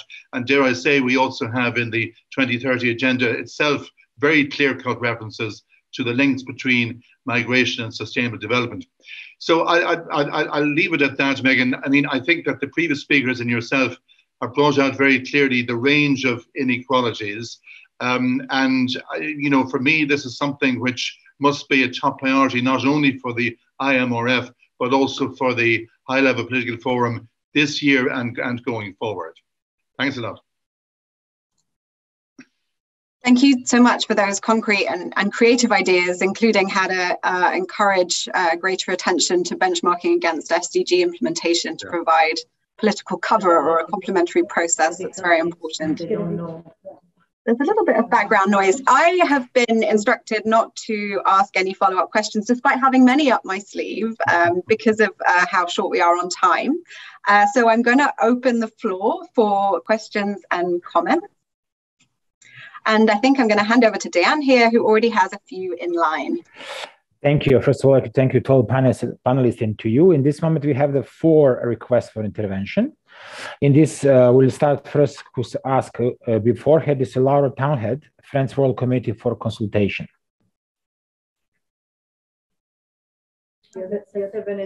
Thank you. So we're just, uh, yeah, thank you to the moderator. Thank you to the panelists. Um, we're glad to see this conversation here today and to see it build on the discussion in the IOM Council last year. And whilst predictability can contribute to the orderliness of migration, it does not inevitably make migration safe or regular nor does it necessarily contribute to the well-being of migrants and their communities. So we're glad to see the framing of this discussion clearly grounded in the importance of equality and human rights. And we encourage you all to keep this firmly in mind as you seek to find ways forward, including through coherence between relevant channels of work, as have been mentioned. My questions for the panelists and for all of us really are what criteria are needed to guide human rights based predictability in human mobility in a pandemic era, era, and how and by whom will these be determined? On the question of criteria, we encourage reference to the work of the Special Rapporteur on Human Rights of Migrants, OHCHR, and the UN Migration Network.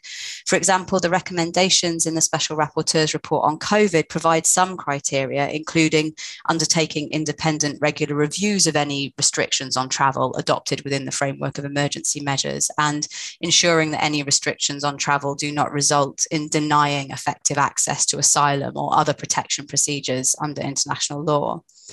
On the question of how and by whom guidance will be determined, in the IOM Council, we highlighted the importance of engaging with migrants and centering their expertise and experience. And I reiterate that now as this conversation continues, we encourage you to enable migrant participation at all levels. For example, at the national level through consultation and establishment of advisory groups, including a diverse range of migrant expertise and experience. Participatory mechanisms will not only support development of effective policy now, but will enable faster and more fluid consultation when new challenges to mobility arise. And I think sadly that is a when, not an if the IMRF offers an opportunity to pledge to establish such mechanisms. So we look to you all to ensure that this opportunity and the opportunity to contribute to enhancing human rights based predictability and human mobility is not missed. Thank you. Thank you. Uh, I would like to invite now a Representative of Venezuela to take the floor. They have currently not joined as panelists. Okay, then Argentina as of will follow. Argentina, please go ahead.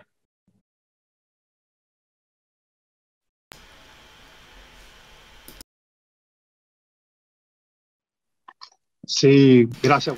Thank you. Good afternoon.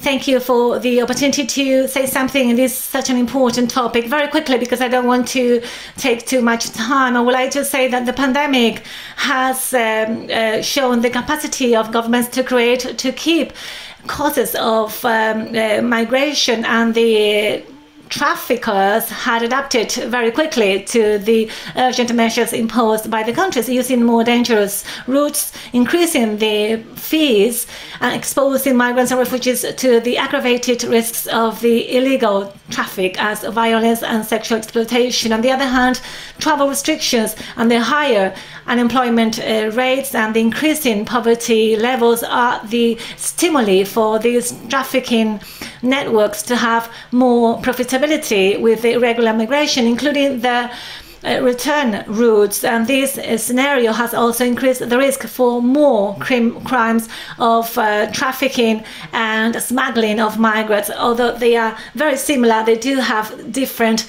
operational. Um, uh, factors. So therefore, we need to keep on coordinating and taking into account the common features and the different features between these two crimes. These um, restriction measures, they also have a specific impact and sometimes it is exacerbated, the impact, especially in women and uh, the uh, different migrants. That is why the international debate on this topic should include the design and implementation of specific measures, innovative measures which will reduce this impact in the most vulnerable groups, among which we can highlight especially the uh, women in extreme poverty, indigenous people, and also um, displaced women. In this regard, the Argentinian government has followed or has uh, thought about the four next guidelines to advance in the regional coordination and strengthen the fight against the illicit human trafficking in the right context to increase the exchange of information to try to identify the changes of this crime in our region to try to adopt coordinated and homogeneous policies to increase efficacy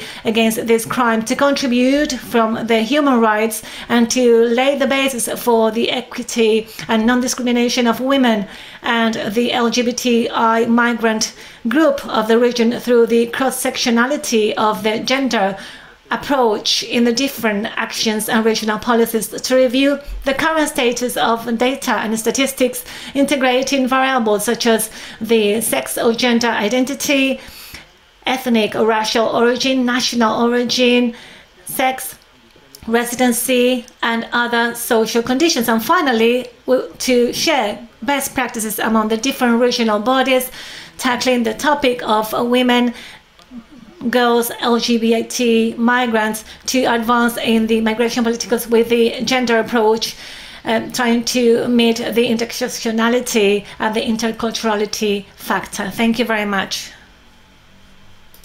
Thank you. We have uh, still three more requests uh, for interventions, and I would like to ask all to be short as possible, two minutes if possible. Next is Venezuela. Venezuela, please go ahead.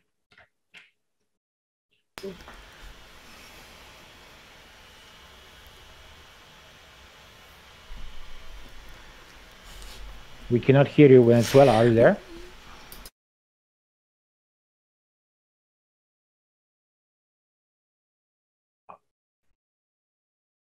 Venezuela, are you there?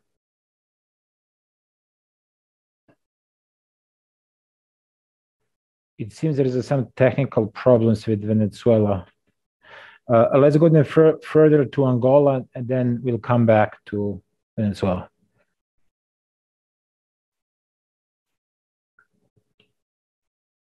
Angola is next, please.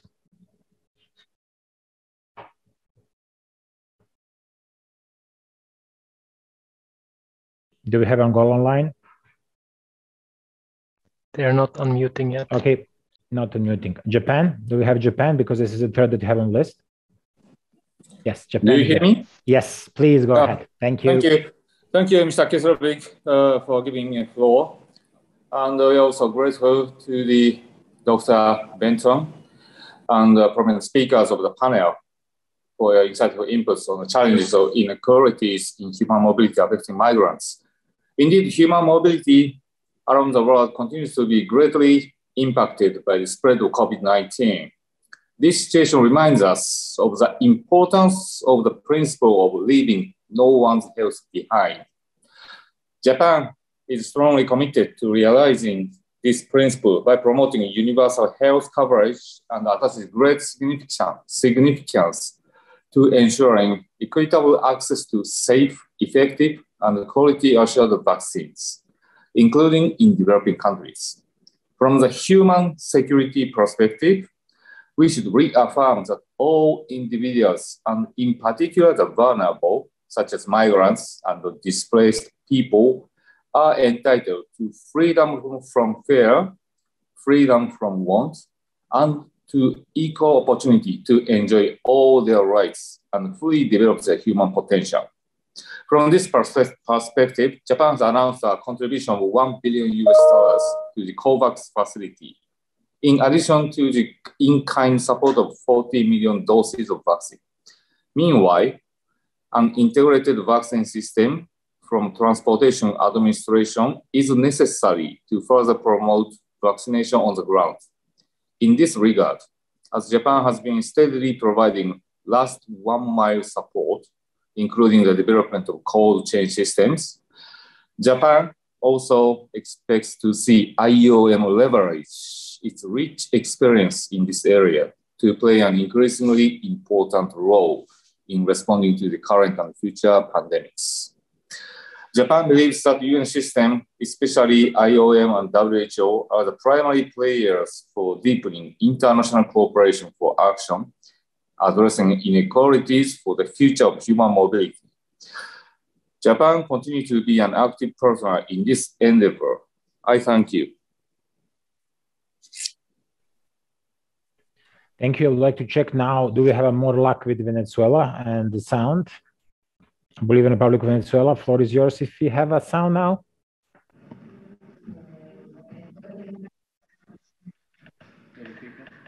Buenos días, ¿me escuchan? Perfect. Good morning. Can you hear me? Perfect. Yes. Go ahead. Great.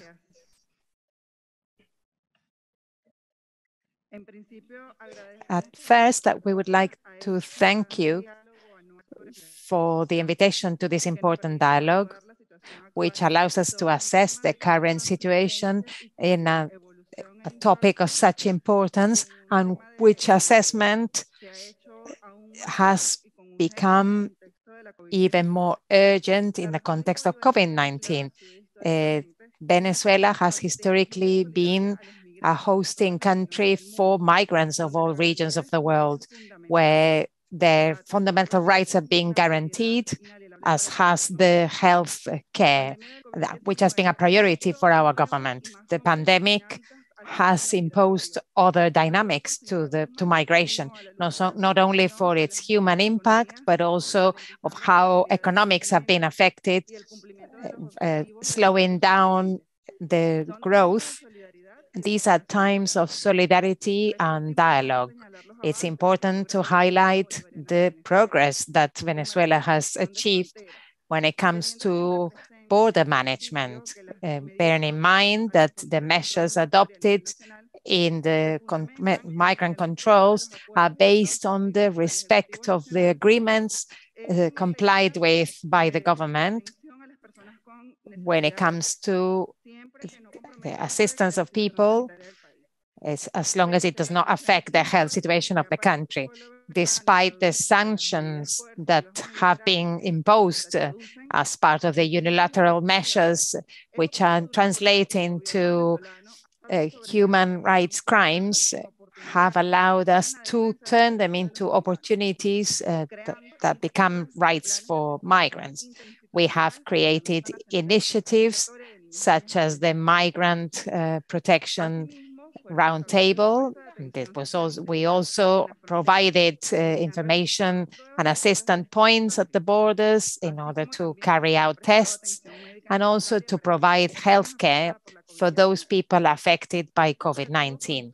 This operation uh, had the collaboration of such, uh, such, agencies, such as UN agencies accredited in the country, as well as uh, tens of different organizations that provided technical assistance. This is a best practice to share since these experiences are always addressed to protecting human rights and the healthcare protection, both to nationals going back to their host home countries. Also, the vaccination program is generally uh, has been provided to all, regardless of the migration status bearing in mind that access to vaccines should be considered universal, and our country has, has uh, promoted dialogue and, collab and cooperation between home and destination countries. So we are always willing to listen to, to have bilateral and multilateral agreements and respecting the sovereignty of the countries and without ideological differences and uh, bearing in mind human rights. In Venezuela, we consider migrants uh, an engine of development in the economy and has to be based on their dignity and their human rights as an ethical uh, commitment. And for this reason, we still support the roadmap for an orderly, safe, and regular migration, which is an objective in order to reach uh, world peace, which we will be happy to discuss in the IMRF in May. Thank you very much. Thank you. Before you turn back the floor to Meghan, I to check if Guatemala uh, can speak. I see them see them only as attending as a panelist. Are there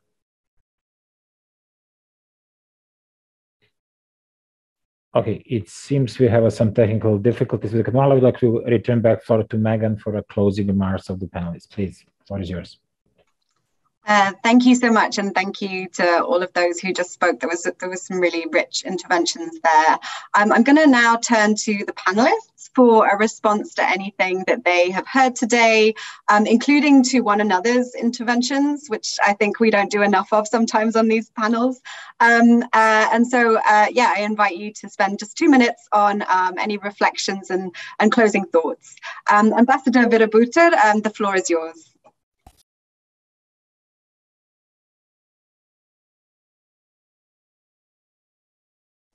Uh, you are still muted, I'm afraid.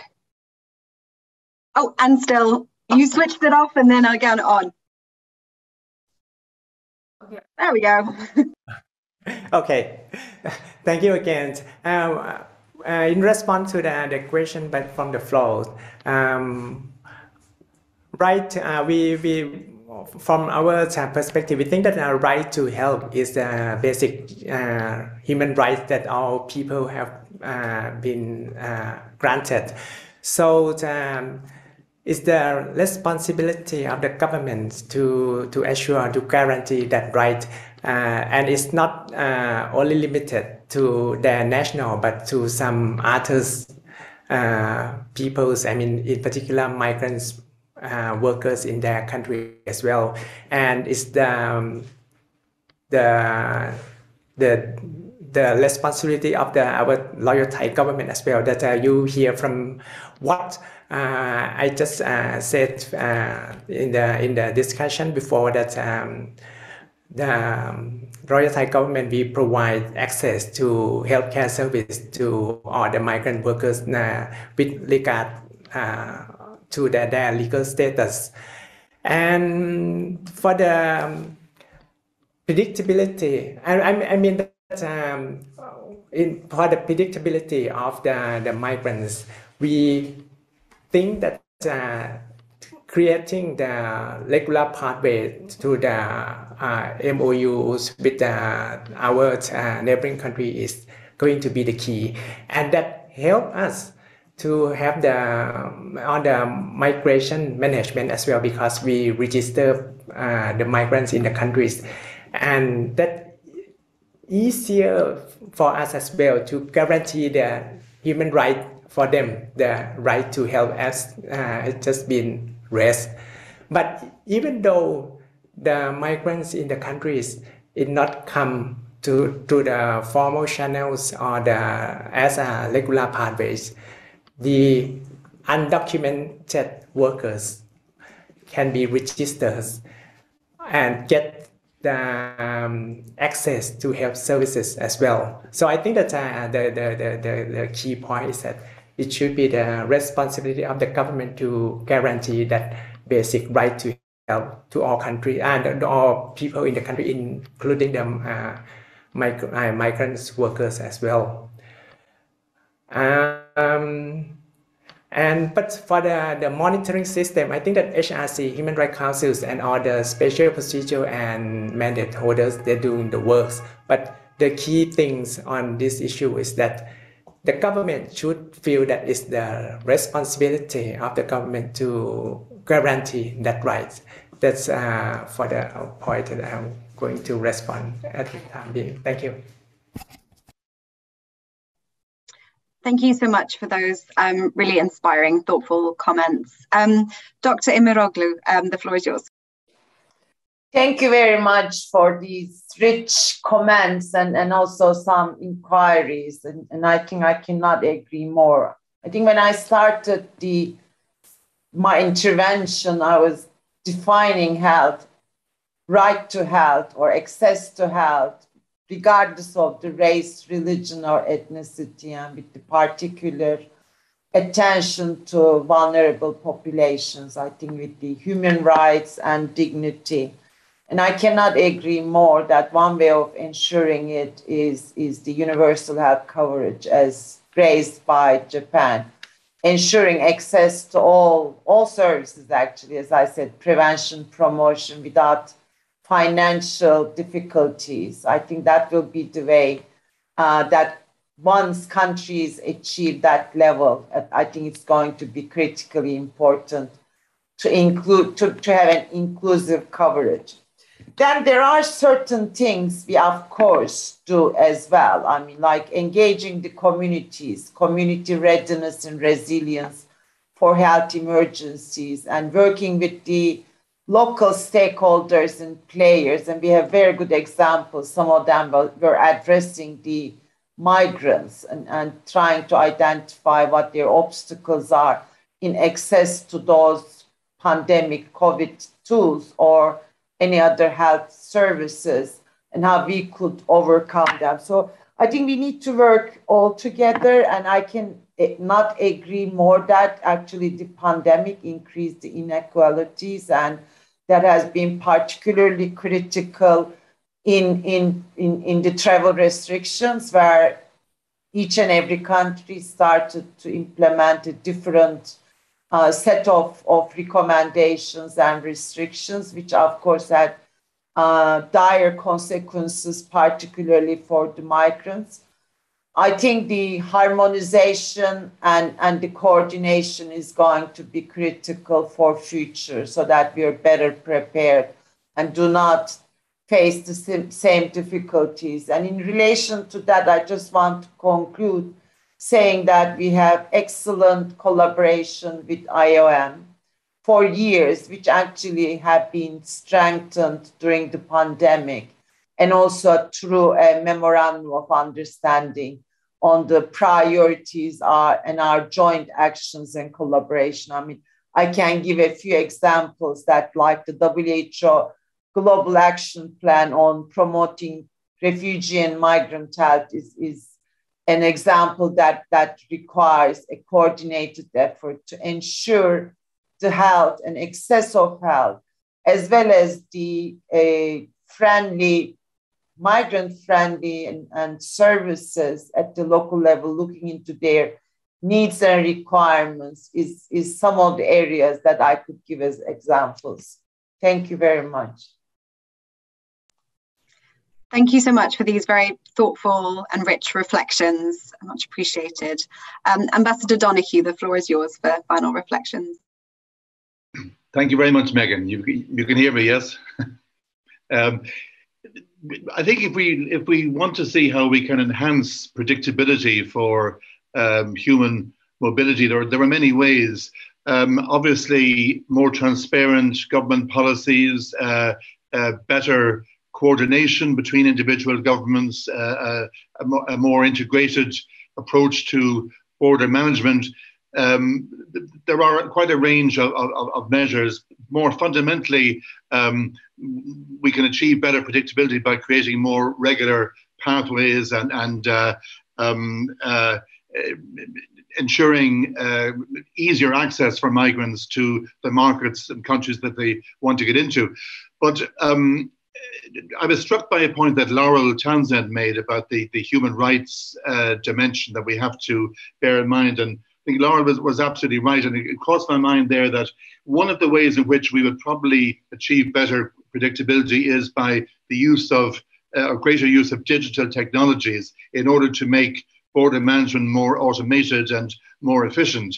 Um, so that at one level would perhaps accelerate procedures um, and uh, be ultimately to the benefit of migrants. But hidden within that, or not so hidden perhaps, is the risk that the human rights of migrants will be uh, threatened by those very technologies.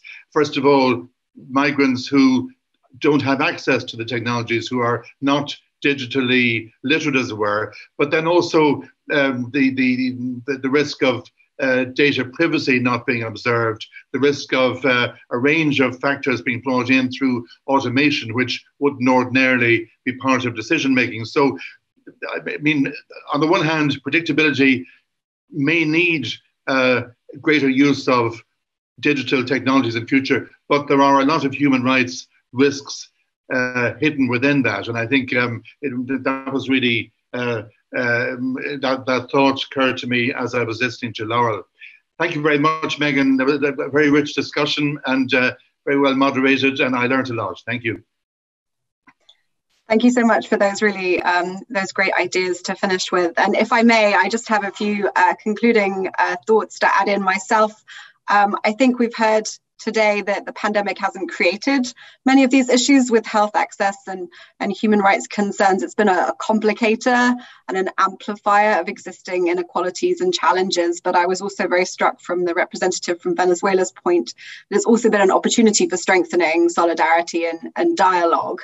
I think when it comes to health measures and mobility, um, um, I'm struck that it's important not just to see vaccination as the only pathway for entering a country, but thinking about health measures in border management as part of a comprehensive approach with multiple tools uh, for risk management and really centering the discussions about vaccine access as we've heard rather than focusing on just vaccine verification um, and enforcement. Um, uh, as we think about the IMRF and future discussions on this topic uh, and moving towards a, a, global architecture for mobility and pandemic preparedness, I think uh, clearly we've heard it's important to streamline the rules to improve transparency and harmonization, digitization and coordination of these rules, but also to, to mainstream equity uh, within these discussions and think about them in conjunction with um, regular pathways, for instance. And then thinking about the next steps, um, I, I, like to see this conversation as, as continuing the one that we had at the IOM Council and thinking through how to take it through to the IMRF and also Ambassador Donoghue's point about also using the, the high level political forum. Uh, thank you so much, everyone. Thank you, panelists. Thank you, everyone who participated for such a rich discussion today. Um, and thank you for giving me the opportunity to moderate. Um, this has been a really um, um, interesting session. Uh, hand back to Dan at this point. Many thanks, everyone. Thank you, Meghan. Thank you to all panelists. And we are now slow, slowly, but not that actually slowly, quickly transiting to the next panel. Next panel is on migration, environment, and climate change. And I would like to give the floor to our next uh, moderator. This is our colleague. I am Special Envoy for Migration and Climate Change, Caroline Dumas. Caroline, please, floor is yours. Yes, Diane, good afternoon or good morning to, to all our uh, to all the, the persons and the participants, our panelists and the participants. Uh, welcome for those who were not already uh, online to uh, that first session of the International Dialogue on Migration 2022. And uh, a, a, session which is which is focusing, you know, on the global uh, compact for migration implementation in practice. And uh, we are in day two, dedicated to facilitating regular migration. And our panel is focusing on migration, environment, and climate change from adaptation to regular path, pathways. Maybe a few words before uh, greeting our panelists. Um, this, you know, this uh, panel and the objective of this panel is to reflect the, the work in progress or the progress in implementation, if I can say, of the commitments taken in the framework of the 2018 Global Compact commitments which were for the first time to recognize, I mean, as a reality, migration linked to climate change and uh, disasters and environmental uh, degradation. Um, the Global Compact was a follow up, I can say, or registers after the 2015 Paris Agreement, Sendai framework for disaster uh, risk reduction, we do uh, have now, um, I mean, the, the, the duty in a certain sense, I mean, to stop, think about the implementation of the global compact. We have maybe to think on how states can develop tangible action to integrate migration and migration issues into climate change and disaster risk uh, policies, but as well the reverse and as well vice versa, how, I mean, climate um, element, climate change elements can be integrated in migration policies. So, although uh, significant progress has been made to advance uh, political discussions um, on migration in the context of disasters, climate change, and environmental degradation at the global level, a coherent and systematic implementation of global commitments and recommendations needs to continue to be strengthened. The panel will also discuss state pledges, maybe, and uh, how states can work towards more improved, more and improved regular pathways for migration in the context of disasters, climate change, environmental degradation. So, to discuss these, uh, the, these important themes today, I am uh, happy to to greet several, I mean, several panelists We're going maybe to start, and we, we have the great honor to greet uh, Ambassador Nevin Al Hosseini, who is representing, representing the Egyptian uh, government. Ambassador Nevin Al Hosseini is Deputy Assistant Foreign Minister for Migration, Refugees, and Combating Human Trafficking in the Egyptian Ministry of Foreign Affairs. She has a long, I mean, a long career, a long diplomatic career, but she focused as well and spent several years of her career working on migration issues. She participated as well in the process leading to the adoption of the Global Compact for Migration. And um, she will present us as well uh, today. I mean, the, uh, the line and uh, the position of Egypt as future presidency of next COP, which is COP27, happening in Sharm el Sheikh in next November. So, Ambassador, you have the floor. Thank you very much for your for coming. Thank you so much, Ambassador Dumas, for the uh, uh, introduction. And uh, um, good afternoon, uh, uh, Excellencies and distinguished participants, or good morning. Um, I would like at the beginning to uh, thank you for inviting me to participate in this important meeting in preparation for the first review of the GCM. Um, in my presentation, I will share with you the vision of uh, Egypt on the uh, climate change migration nexus, the policy responses that we'll try to advocate in Egypt's capacity as COP27 president. Ahead of the IMRF, I wish to reiterate that Egypt is committed to a holistic and integrated approach to migration to respect the human rights and dignity of migrants and ensure that migration remains a choice, not a necessity. Climate change is already upon us. Internal and external migratory waves result from both rapid onset and slow onset events, and displacement due to climate induced natural disasters and extreme weather events are consistently on the rise, and its adverse effects, uh, effects have become a reality for millions of people worldwide. I believe that if we do not act now to step up climate mitigation and adaptation measures, coupled with the necessary means of implementation, the number of people displaced by climate change will continue to multiply.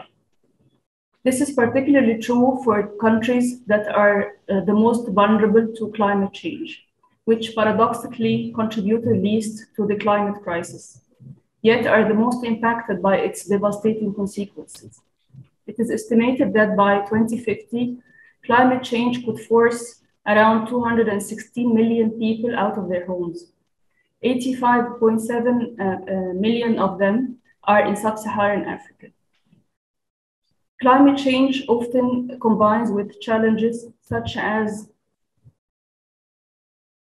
um, um, such as um, uh, poverty, salination of uh, soil, um, uh, decline in fertility of, uh, of land. Um, and, and for sure, this has aggravating the pre-existing socioeconomic and governance challenges in addition to peace and security threats. All these factors create complex drivers for migration, and they have a multiplier effect on migration as captured in Objective 2 of the GCM. Indeed, for many developing countries, climate change and migration are two major sustainable development issues. For a country like Egypt, for example, according to recent World Bank reports, Egypt is one of the most vulnerable countries to climate change, which is threatening the dense, densely populated Delta region due to sea level uh, uh, rise it also faces the specters of increased water scarcity, changing uh, precipitation patterns, rising temperatures and heat waves, and declining agriculture uh, productivity. We will create, this will create a huge risk of displacement, as well as overseas migration in search for better livelihood uh, uh, and, and new opportunities. The government, Egypt is committed to investing in prevention, in preventative measures and adapting to climate change to achieve food and water security, as well as creating job opportunities in the green economy and enhance international cooperation to create legal pathways for our youth. The government adopted a decent life initiative that targets the lowest income villages and cities across the country, including Delta and Alexandria, that are the most vulnerable to climate change. The initiative includes a uh, components for upskilling the young uh, men and women and providing uh, training and career uh, advice in addition to uh, job opportunities in order to prevent decisions of irregular migration out of desperation. As a host country for around 6 million migrants, Egypt is expected to receive increasing flows of persons affected by the rapid and slow onset impacts of climate change throughout Africa. Egypt is committed to advancing policy coherence to address this challenge and enhance the resilience, the resilience of host communities. In addition to ensure the human rights of the uh, uh vulnerable migrants. The impact of climate change on mobility requires us to step up our collective efforts in a, number of areas simultaneously. First, we must continue to build resilience and adapt to the adverse impacts of climate change, particularly current and short-term impacts, such as droughts, heat waves, cyclones, water scarcity, and flooding. At the country level, we need to integrate climate-related risks, including forced displacement in national planning and peace-building efforts. Having said so, it is obvious that not all countries have the capacity to do so at the level of institutional or financial capacities. Second, we need to increase support for addressing loss and damage. At COP27, 26, the Glasgow Loss and Damage Facility was launched to support efforts to address loss and damage and increase financing, technical assistance, and capacity building. We look forward to further building on this outcome. Third, adaptation efforts need to be complemented by means of implementation and financing, as well as action to mitigate and reduce emissions from all sectors through a just transition approach. Fourth, investing in prevention and disaster preparedness, early warning systems, risk assessments, and uh, forecast models can help uh, prepare and also prevent future displacement and help communities become more res resilient and less exposed uh, to disaster risks. Doing this, doing this requires again more uh, uh, capacity building. Fifth, it is essential to increase investment in climate smart solutions and adapt international financing structures to better link humanitarian assistance to development initiatives. Sixth, enhancing regular pathways and supporting ethical recruitment for legal migrants. And this is a very important adaptation approach as mobility can be a vehicle to creation and transfer of resources, providing new livelihood opportunities and enhance sustainable development in both countries of origin and destination. In that regard, the proliferation of negative migration narrative is a key challenge that we need to address to ensure dignified mobility. Last but not least, I think that the concept of vulnerability needs to be put at the center of current and future responses to environmental migration.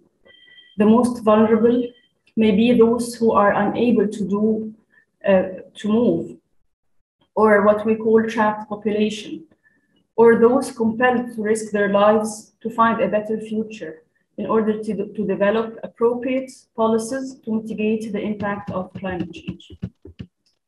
Distinguished participants, I believe that the uh, upcoming IMRF provides a golden opportunity to highlight the linkages between climate change, environmental degradation, and displacement. And, and we, we look forward to more concerted action to promote the robust implementation of the GCM and achieve better coherence between the climate and migration agendas. Thank you so much for your attention. Thank you very much, um, Ambassador.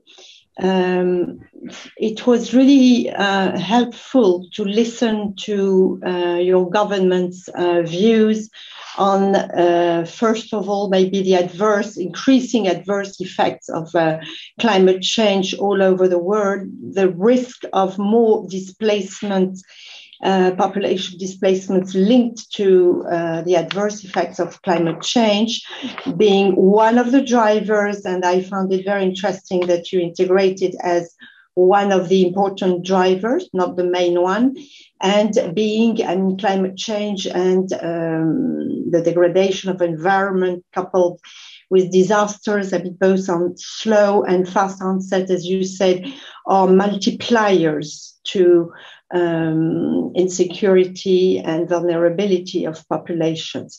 So um, we we heard uh, clearly that you you do think that um, the world has to to build more resilience to help I mean affected populations to build more resilience to be able to adapt better so to increase i mean there is a need to increase adaptation measures preventive policies, preparedness, early warning uh, systems, to integrate all these policies in um, migration policies as well. And uh, last but not least, to enhance uh, the regular pathways to, to help mobility um, when it is necessary, mobility being uh, adaptation, of course, itself. And I do find interesting that you, you support IMRF, of course, and we will uh, wait for Egyptian uh, support to the IMRF as a good opportunity, as you said, to enhance these uh, triangular links. So um, maybe uh, we we can go further and maybe ask you uh, one question, which would be as well how to, to be able to measure progress on addressing precisely migration in that context of disasters, climate change.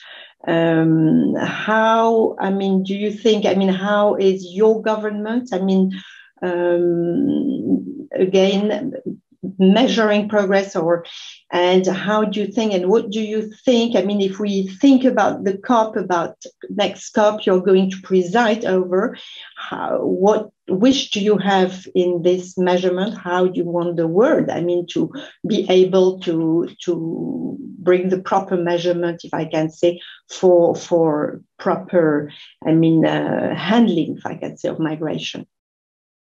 Thank you um, this is a very important uh, um, question because uh, uh, evidence-based policies and data is, is, is, crucial to, to guide uh, policies.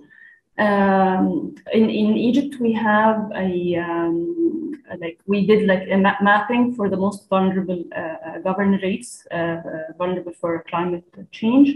we, we established an early warning system and uh, it is important that this is uh, followed up um, regularly and, and amended uh, according to, to the, the impact that, that we see.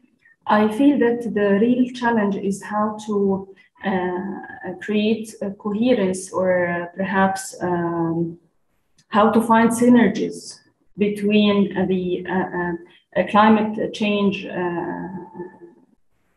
targets uh, or, um, or, or object, uh, objectives and migration uh, related ones in the GCM and sustainable development, how to, to create this synergy between the, the, the different indicators. Uh, I believe that this um, requires a lot of uh, uh, capacity building and a lot of um, uh, coordination between the different uh, ministries. I think that uh, nowadays climate change is not only an issue for the ministries of environment or relevant, dealing with environment per se. It, there should be like a cross-cutting way of uh, uh, looking at the, the impact of climate change from all its different uh, angles. Thank you.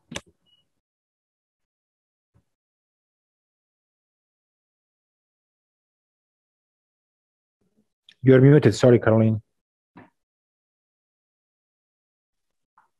I'm very sorry, I was mute. No, thank you very much, Ambassador, for your answer, which is extremely important. And that question of the cross cutting uh, dimension now of climate change on one side and migration anyway on the other and the the the, the points i mean the the the links the important links between these two i mean trends are extremely important we'll come back maybe to your answer and to that uh, dimension after we we listen to to our uh, other panelists. So i would like now to give the floor to um, an American voice, if I can say.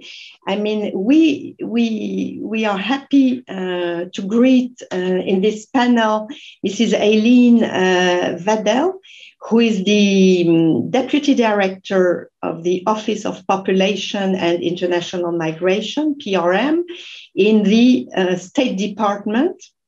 American State Department. So you are, uh, Mrs. Waddell, you are the focal point for climate change and migration. Uh, of the Office of Population and International Migration. You are also the focal point for the GCM. So we are happy to greet you on this panel.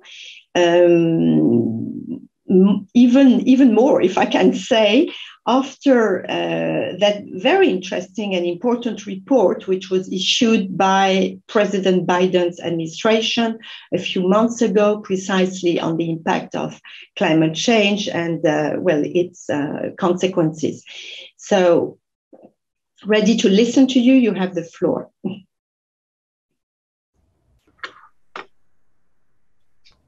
Good morning, good afternoon to you all, and thank you so much, uh, Special Envoy Dumas, for the opportunity to discuss climate and migration this morning. It truly is a pleasure to be here um, to speak on a topic of such importance and urgency. Um, as the ambassador noted, we've all witnessed in the last years how the effects of the climate, climate crisis increasingly drive mass displacement you know, we've uh, read the World Bank's groundswell report that notes that climate impacts could displace 216 million people within their countries by 2050. And these potential movements spotlight just how crucial it is that we act now. And as you noted last October, the White House released its report on the impact of climate change on migration. And the primary goal of that report was to understand the scope of the challenge and ensure that our policy responses are effective, thoughtful, and strategic. And this re- report is our roadmap moving forward. And it is a whole of government effort driving policy and programming efforts today and in coming years. Efforts that we believe have the potential to have a profound effect on the climate crisis. So, consistent with the GCM, with con- Objective 2, the Biden Harris administration has redoubled efforts to minimize the adverse drivers that push people to leave their countries of origin, such as regional violence, corruption, economic insecurity, and the overall lack of opportunity. And we are particularly focused on addressing the impact of climate change on migration. We continue to support trusted partners to anticipate prepare, and respond to climate induced migration and displacement, and to scale up support to communities to reduce the risk of climate related disasters and strengthen resilience to the impacts of climate change. Just in November of last year, the president announced his emergency plan for adaptation and resilience, better known as PREPARE, to help more than 500 billion people in countries adapt to and manage the impacts of climate change by 2030. Through our work with IOM, the State Department's Bureau of Population, Refugees, and Migration funds programs such as training for government officials on migration and ch- climate change and capacity building programs that take a proactive approach in supporting regional, national, and local coordination mechanisms to prepare for and respond to climate change, including through implementing the migrants in countries in crisis guidelines. Similarly, in line uh, with Objective 5, the United States also seeks to avert and respond to displacement through safe, regular migration pathways and through strengthening access to assistance and protection for people displaced by the impacts of climate change, both across borders and within their countries of origin.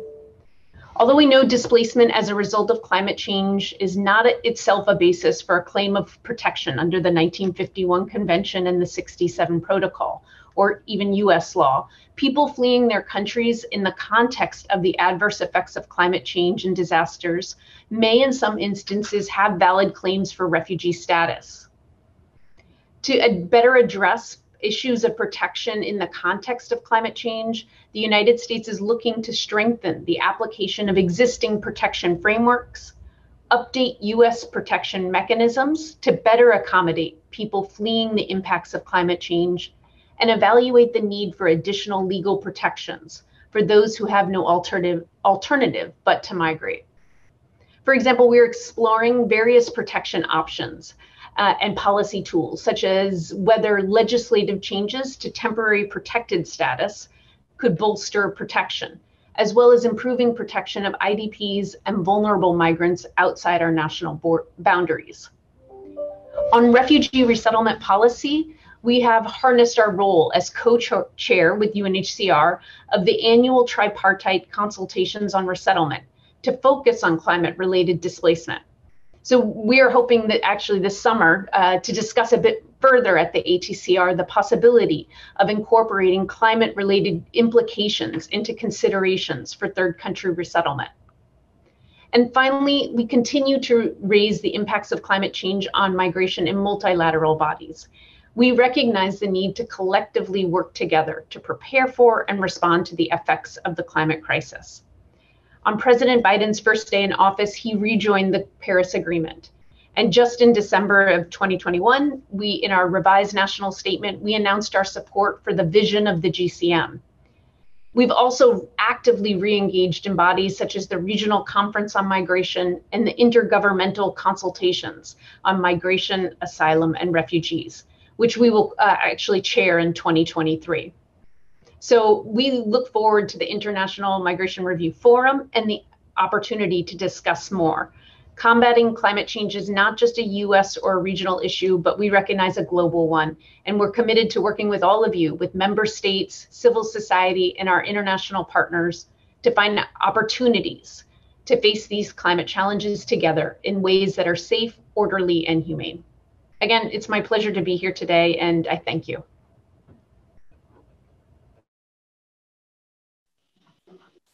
Thank you very much to you, Director. Um, it is it is really interesting. I mean, to to see how United States are uh, committed precisely. I mean, to answer uh, objective or to try to to fit in objective two of the GCM. Um, as I mean, to see how much you have increased. I mean, your your uh, dedication, if I can say, to preventive measure, to prevent preventive uh, measures, adaptation. I mean, including that emergency plan on adaptation you, ju- you just mentioned, and uh, to understand as well how much you, you develop, I mean, your policy to, um, to respect objective, um, objective five as well. Um, we heard uh, your your new commitments about protection and the reflections going on on the question of protection, which which is uh, really um, interesting and encouraging, as as you say, for I mean those of uh, migrants who have no choice than than to to leave their their places or dwellings. Um, I'm glad that you look forward to the IMRF and we look forward uh, to um, a high level delegation from United States we we do of course uh, in IOM support totally the view that uh, that question of an intersection between climate change and uh, mobility is indeed a global subject. I mean, you you mentioned I mean local, national, regional engagements, policies, and of course uh, um, work for all for all of us. But but it is a global subject, and that uh, we will bring as well. We'll try to bring uh, up to to next COP. Thank you very much. Um, maybe you know. Um, uh, another question as well. I mean, to, to feed that discussion and I could ask you maybe, coming to, to the end, if I can say, of the, the development, what regular pathways have your government or has your government developed or implemented precisely for migration in the context of disasters and climate change? yes, so that's um, you know we are looking at right now and I, I you know it was noted in the report you know of looking at the potential for a separate legal pathway but then also looking at you know as i noted about the temporary protected status about you know what would be sort of the climate consider i mean we already use um, we call it tps uh, we already use that in um, for countries that are affected uh, by natural disasters, but how could that, you know, be expanded or the legislative changes that could occur to sort of make that more encompassing, along with, you know, other um, regular pathways. So it's something actually right now that we are discussing. It's, you know, a lot of these um, what has been really great about the report actually has been pulling together all of the different um, agencies within the US government that climate change is not sort of on its own that it's you know it touches throughout and it's being incorporated through all of the different work. So working with you know our partner agencies and looking at each of these. So um, that's that's exactly the conversations that we are having right now Thank you very much to you. We might come back to you uh, in the in the discussion, and uh, let me greet uh, maybe now another voice. And I must say, I'm really glad because it's a very feminine panel panel today, if I can say. We we we do have another lady uh, who is the voice of um, most vulnerable that she, she, she has worked with a lot in her life, Dr. Margaret Agama Anyetei. Good, um, good afternoon, maybe, uh, doctor. Um, you are the acting director for health and humanitarian affairs in the African Union uh, Commission. So we are very glad to to to be able to, I mean to to listen to you. You have a, a long career, uh, having served uh, on uh, humanitarian, uh, I mean the humanitarian side, but as well health, uh, psychological health, and uh, different other dimensions. I mean the Ghanaian armed forces, but as well different PKOs all around uh, the world before uh, before joining uh, UNAIDS and before joining the African Commission now today. So we're listening to you and to the views of uh, the African Union. Thank you to you. Uh, thank you very much this afternoon, and thank you for the kind introduction and allow me to stand on all existing protocol um, and established protocol as I would greet also your participants at this forum.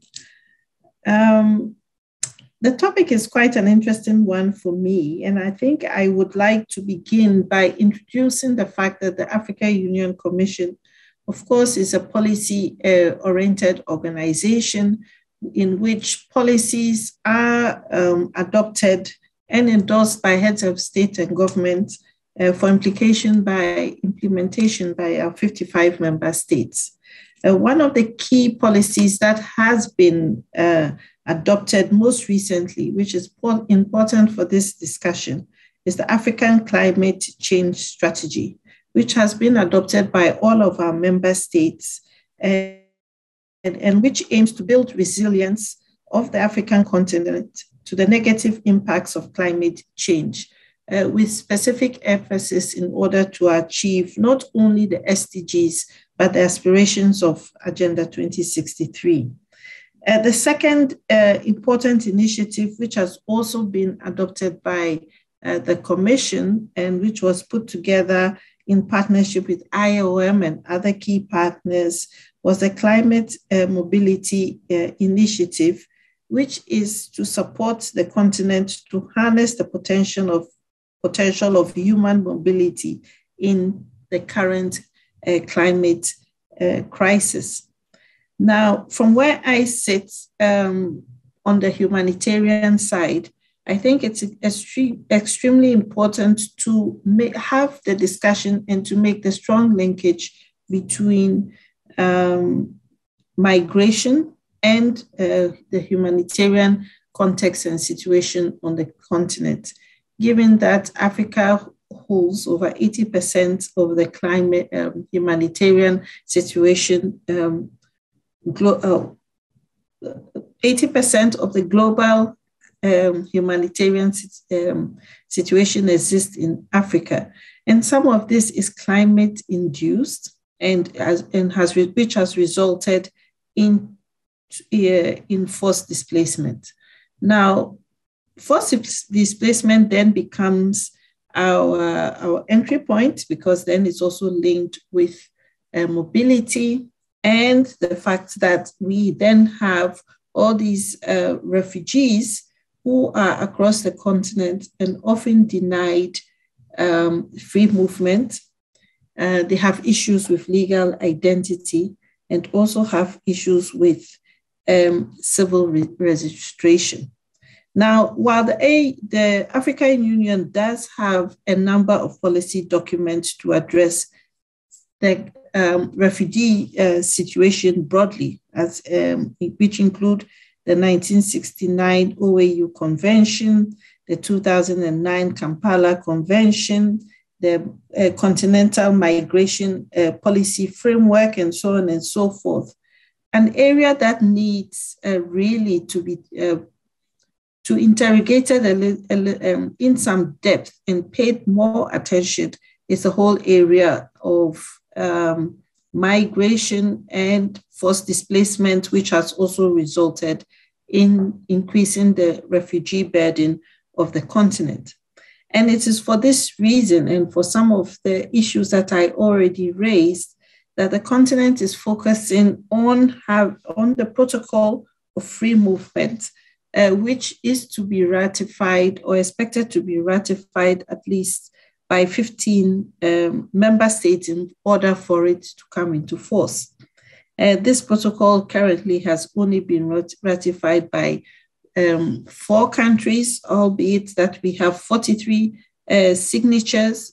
And there's a need for increased advocacy in order to uh, for this protocol to come into force, given uh, the impact that is going to have and on the on the uh, on the migration situation that we are talking about, and the experts here have have delved into depth its depth, and the humanitarian uh, situation that is being experienced across the continent.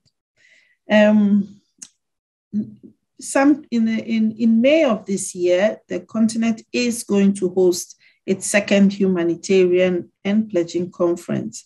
And one of the main thematic areas that shall be discussed shall be climate change, disasters, and forced displacement in Africa.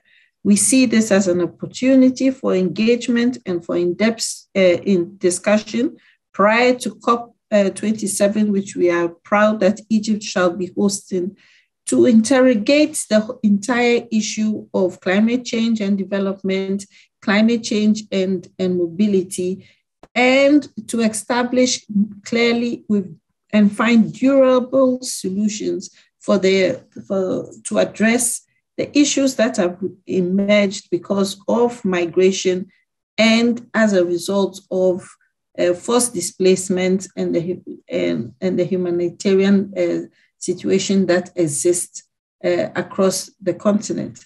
I think I can stop there and uh, remain open for further discussion, but I hope I've framed this in a way that will allow us to have a more in-depth discussion uh, moving forward. Thank you very much. Thank you very much to you, uh, Doctor. Um, it is well. It, it, it, was very interesting. I mean, to listening to how I mean, and we, we we know it somewhat, but not so well. I mean, how Africa uh, built its own, if I can say, mechanisms of dealing with this uh, situation, mechanisms, and beyond, of course, uh, real strategies. I mean, you were mentioning the climate change uh, continental, I mean, strategy, plus the new uh, African uh, climate migration and migration initiative.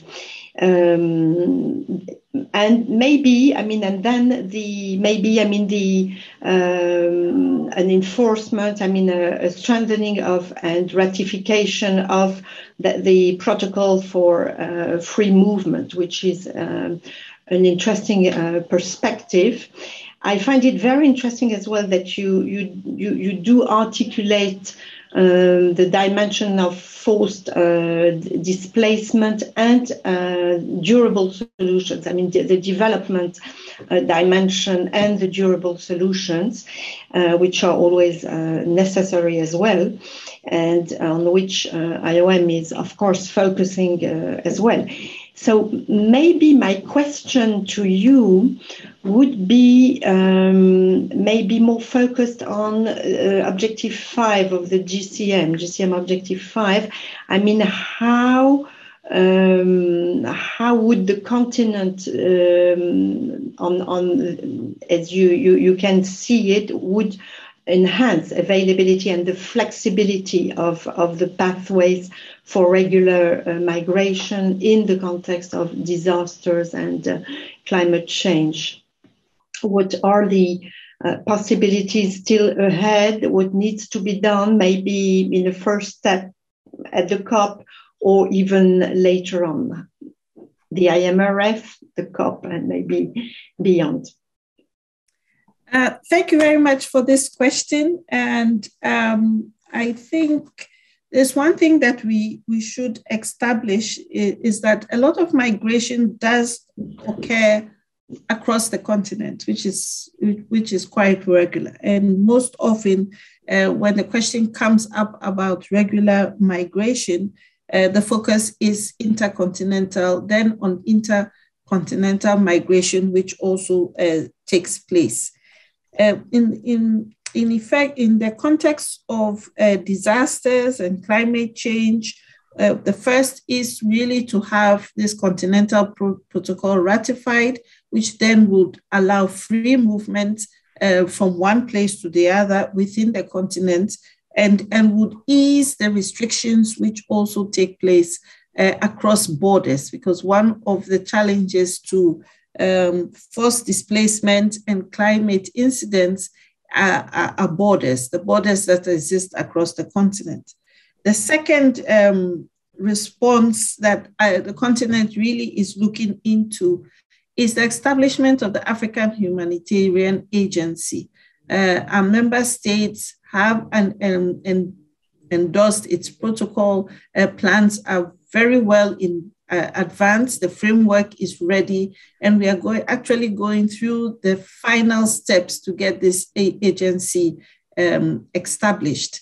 Uh, it's it's about time that Africa, um, given the burden um, within the continent, it is uh, about time, and our leaders see it as a necessity as a necessity to have a um, an African Union humanitarian agency to take show the leadership, the political will, and the commitment to addressing um, um, this, the, the situations which arise out of um, such incidences which are driven by climate change and other disasters. Thank you. Thank you very much. Very, very interesting. Maybe we can come back to to these two, um, I mean, directions and elements uh, later on. Uh, thank you very much, uh, Doctor. I would like now to give the floor to um, a, an important NGO voice, if I can say, and give the floor to Katie Ober, who is a senior advocate and program manager for the climate displacement program precisely at Refugees International. Uh, Kayly Ober, you uh, have um, a, at least a decade of uh, experience on climate migration, displacement uh, issues, including which is not uh, the least, uh, being one of the co authors of the very well known groundswell report preparing for interna- internal climate migration. So we're ready to listen to you. The floor is yours. Thank you, Ambassador Dumas. Uh, it is my pleasure to be here and with such distinguished panelists. Um, I'd like to note, though, although my title on the screen says I represent Refugees International, I also sit here as a steering group member of the Climate Migration and Displacement Platform, and also as a participant of the Civil Society Action Committee, which recently released a paper on civil society priorities towards the 2022 International Migration Review Forum. Uh, and I encourage folks on this call to, to read that paper. Out of the 12 key priorities, uh, climate change features quite prominently. Uh, that's no mistake. Uh, and as the latest IPCC Working Group 2 report on impacts, vulnerability, and adaptation underscores, we are in the midst of a climate crisis. Scientists have already observed increases in the frequency and intensity of climate and weather extremes, including hot extremes on land and in the ocean, heavy precipitation events, drought, and fire weather. This report also makes clear the magnitude of existing and coming climate change impacts is much larger than previously acknowledged and is already contributing to displacement and humanitarian crises around the world.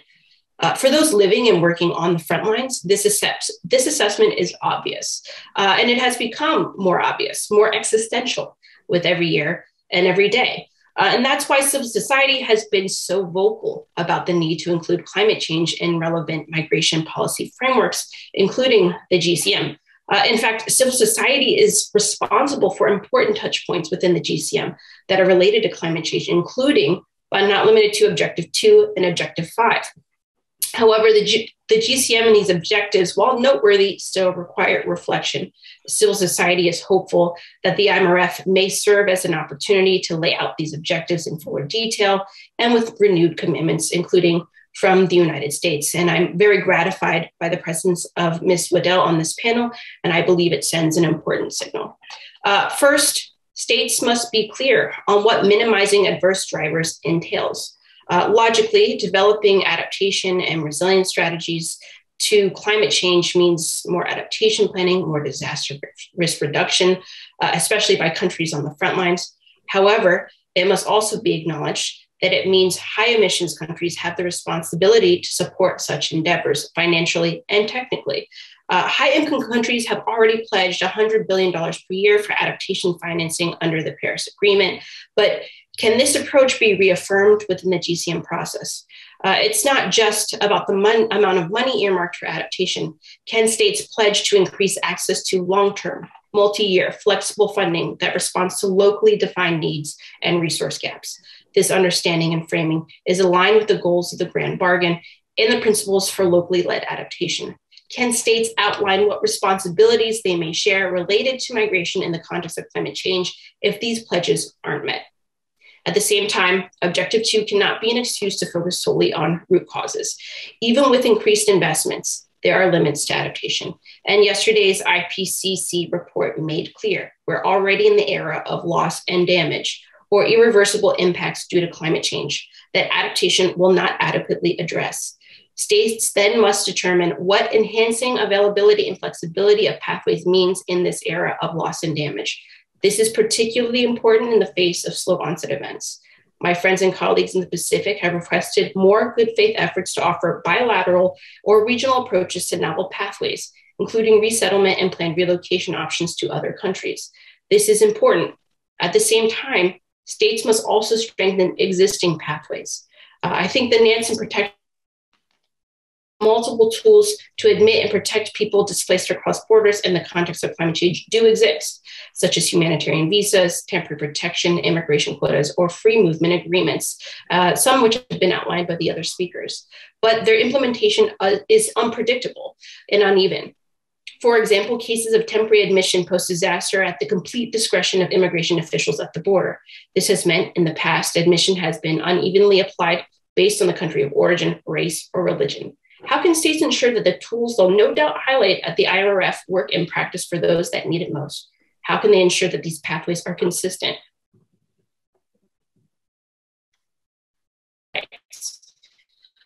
Uh, IMRF is enhancing pathways mean more than just analyzing movement and climate change. It means more than just an opportunity to showcase existing policies. It's also an opportunity to highlight gaps and for states to be reflective and reaffirm that responsibility sharing and collective action is crucial and urgent to tackling those gaps.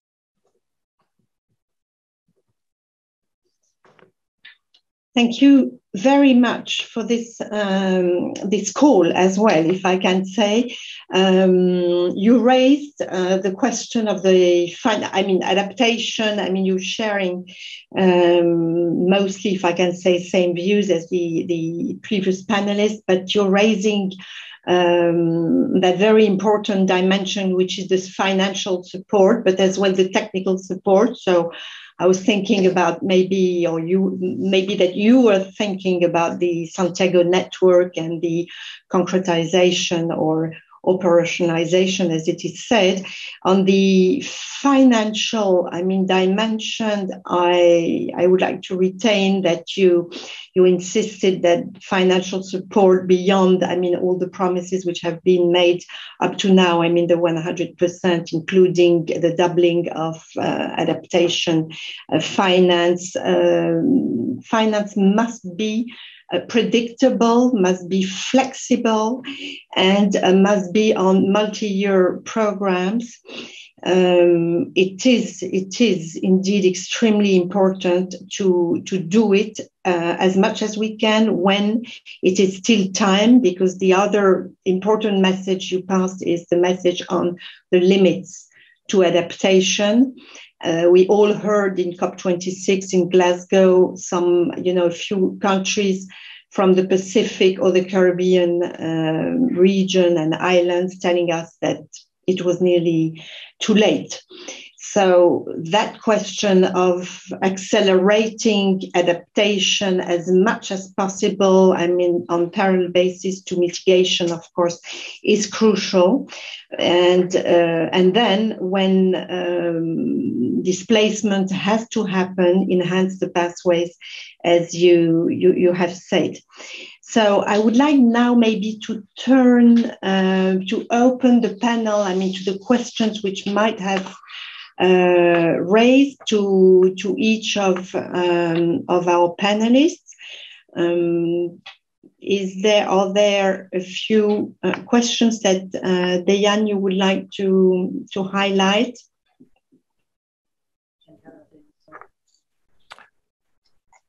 What I could see at this moment, we don't have any requests for intervention.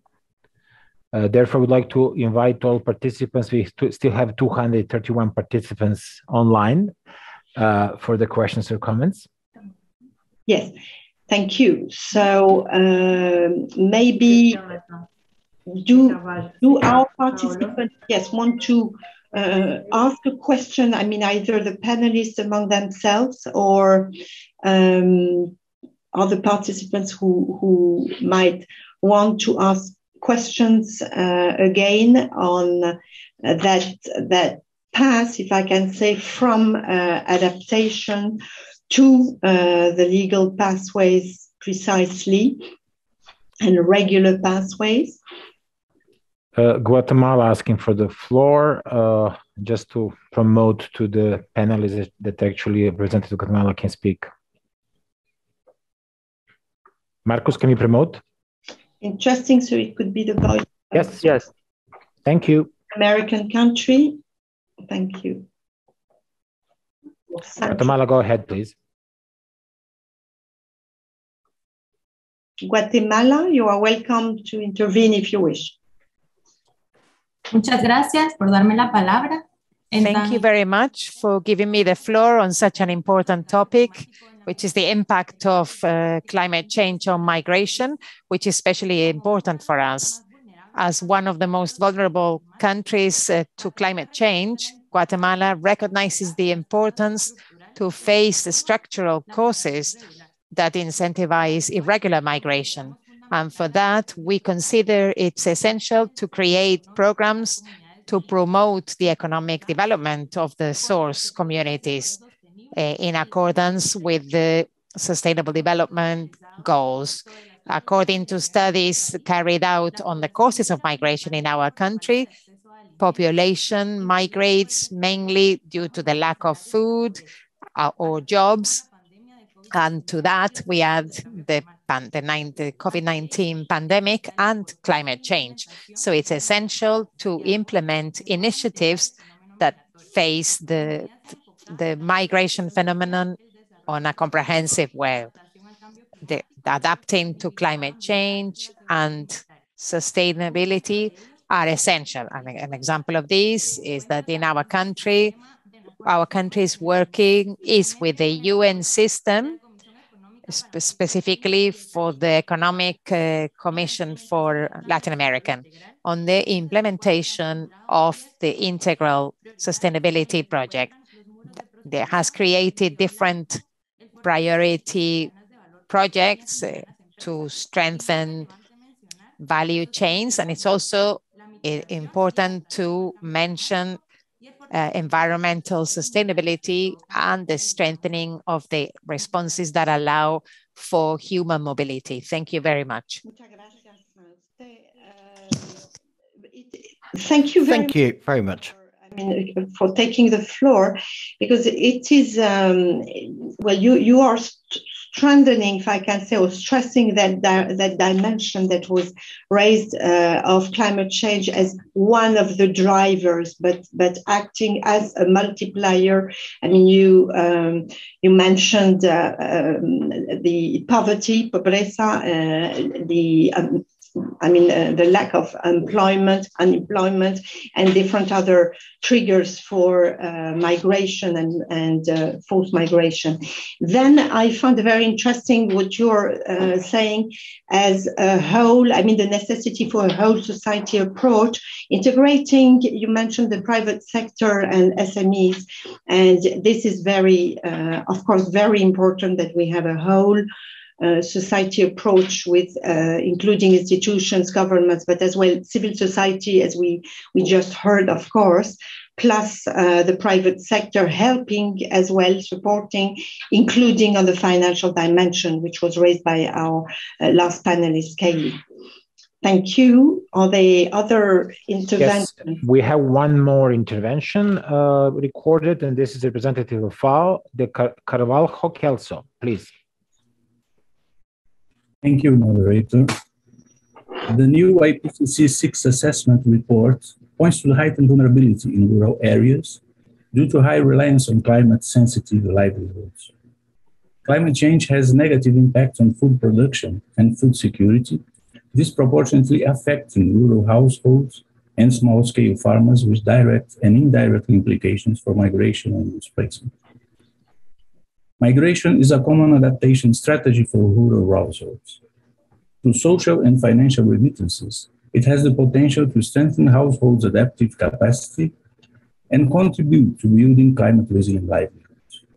Forced migration and migration that is undertaken via irregular pathways, on the other hand, have been shown to perpetuate vulnerability.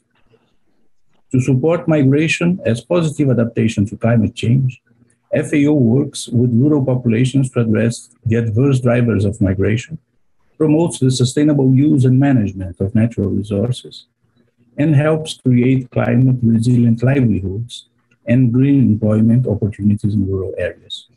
The role of migration as adaptation needs to be explicitly recognized by states and supported by creating safe and regular pathways for those who choose or need to move in the context of climate change. To harness the positive contribution of migration to climate change adaptation, it is critical to create enabling environments in areas of origin, transit, and destination, and recognize gender specific needs. This will require improved coherence and coordination between sectoral policies and programming, as well as enhanced collaboration between policy actors. Thank you, moderator.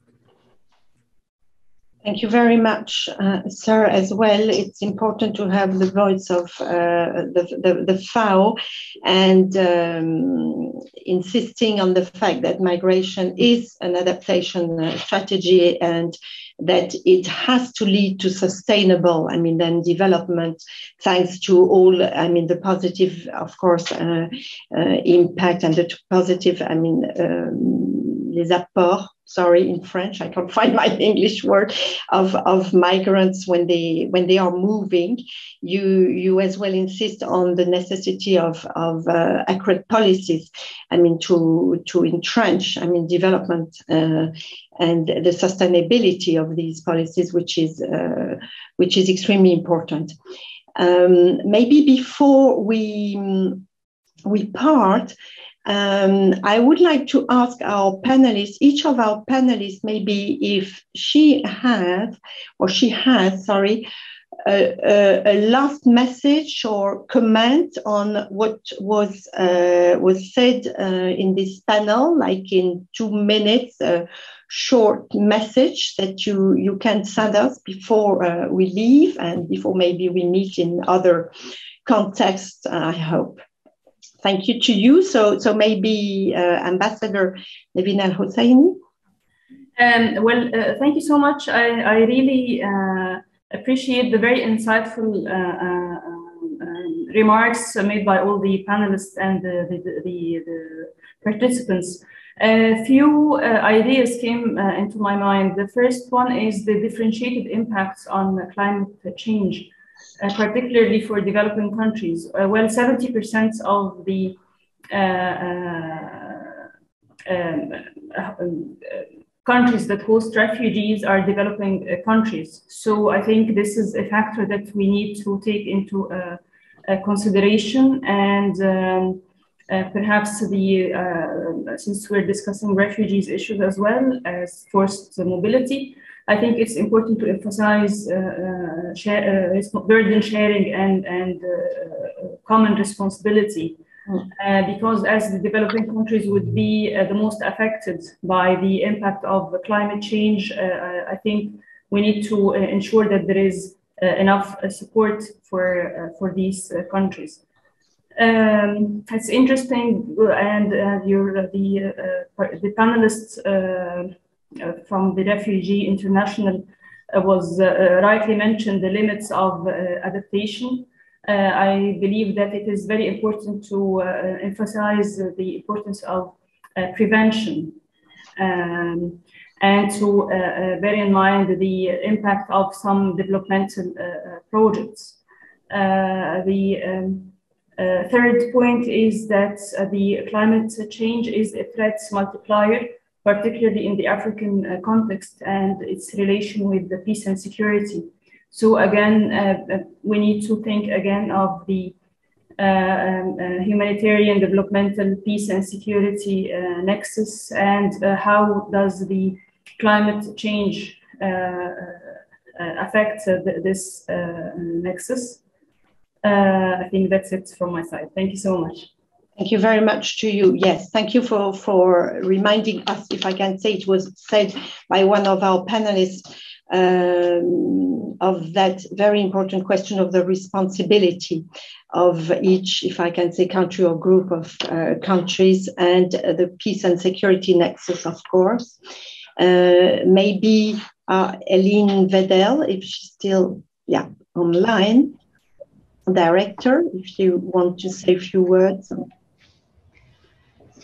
Thank you. Uh, it has been excellent listening to everyone and just, you know, thinking about, I think, you know, what comes across so clearly is that we're in agreement on that the, you know, physical, social, economic, and environmental um, vulnerabilities um, combined with climate change can undermine food water economic security and that you know we as we hear you know the secondary effects of climate change are equally corrosive and spur displacement threatening livelihoods of entire communities weakening governments and even in extreme cases resulting in political instability and conflict.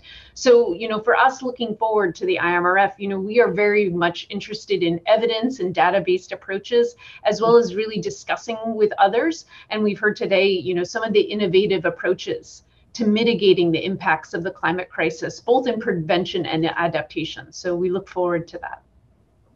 Thank you very much um, for this intervention as well. And uh, you're right, we all need, uh, first of all, to work on evidence and database to to to feed. I mean, the whole, I mean, uh, thinking about this growing uh, problem, and and then yes, uh, innovative responses maybe as much as possible, and adapted responses precisely to each situation on each continent and each level of vulnerability towards climate, whether onset, I mean, uh, slow onset um, processes or fast onset events.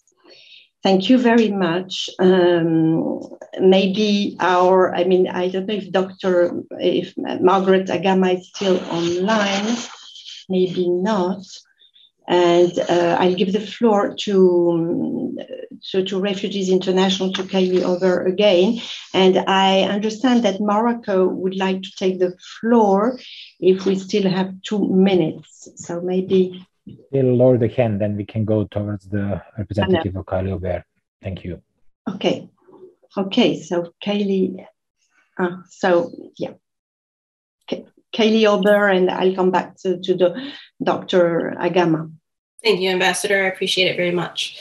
I think I came away with two points uh, from this panel. One is that climate change is on the agenda. It's it's imperative that we all uh, discuss this on, the, and it's it's gratifying to see the amount of engagement uh, this is receiving both at at this dialogue and which I hope will transfer to the IMRF. Uh, I think, two, we've very clearly made the links between um, different sorts of international frameworks and mechanisms that need to be um, underscored, including the UNFCCC and the Paris Agreement and pledges around adaptation. And I hope that the IMRF will uh, reaffirm that and amplify that. Uh, so, all in all, I feel uh, positive about sort of the developments we're seeing uh, today, especially from different member states that are on this panel. Uh, and I'm looking forward to further engaging uh, as a part of civil society. And I hope that civil society will have continue to have a strong voice in the IMRF process, especially because it holds such a such a special place within the GCM negotiations around climate change. Thank you. Thank you very much. Very very interesting. Uh, and uh, I'm happy if I can say that there is a little bit of positiveness in that uh, very heavy, precisely agenda. And maybe Dr. Agama, if you wish to take the floor again for your conclusions or, I mean, small comment. Thank you very much. I shall be very brief and thank you again for the invitation this afternoon. But just to say, Africa as a continent is in, is open for engagement around issues uh, related to climate change, migration, and humanitarian issues. And we look forward to welcoming you and hosting everybody at the um, Humanitarian Summit, which will take place in May of this year, 25th to 27th in Malabo. And of course, COP, which take 27, which will take place in Egypt later on. Um, Thank you very much, and I wish everybody all the best. Thank you. Thank you very much to you. And on that really uh, positive note, yes, I think we we can say that we, we can look forward uh, first, I mean, in the calendar to the IMRF and to amplify, as Kelly Ober said, I mean, th- these questions we were not, which were not so acute maybe in um, 2018. And this is precisely the role of the IMRF to do uh, uh, a review, I mean, as transparent as possible and as objective as possible to, to bring into new new input, if I can say, in the GCM, and integrate really that dimension of climate change, which has been really worsening, have a worsening impact on uh, human beings and on uh, so displacement.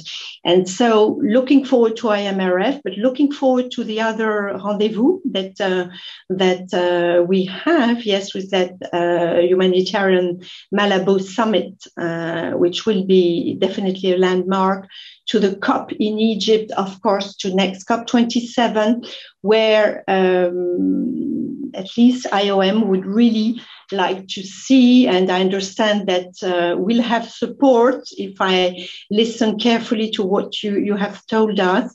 Um, we really would like to see some progress in, in, in the way, I mean, uh, human displacement is uh, recognized in certain sense in the whole narrative on climate change. I mean, climate change has human implications. And we do hope that these human, if I can say, implications are taken care of in the good, I mean, in, in, in the right channels in COP27 and as a global commitment or commitment by the international community.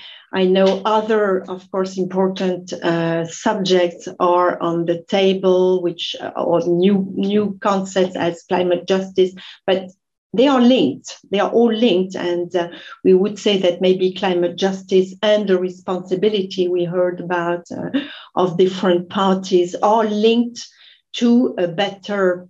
Uh, a better way of accommodating, I mean, life on this planet, despite uh, the the very uh, very serious impact of uh, uh an aggravating climate change.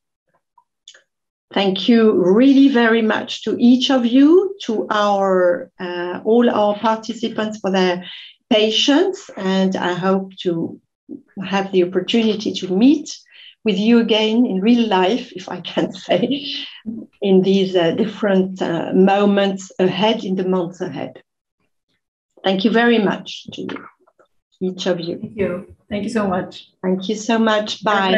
Thank you so much. Bye bye. Thank you. Bye. I would like to thank you, Caroline, and all panelists of our last session for today. And I would like to remind everybody that tomorrow we're starting at 9 a.m. New York time or uh, 3 here, Geneva time. Thank you all and see you tomorrow. Very much for your help. Thank you very much for the the, the help of the whole team, Diane. Thank you. Mm. Thank you to you.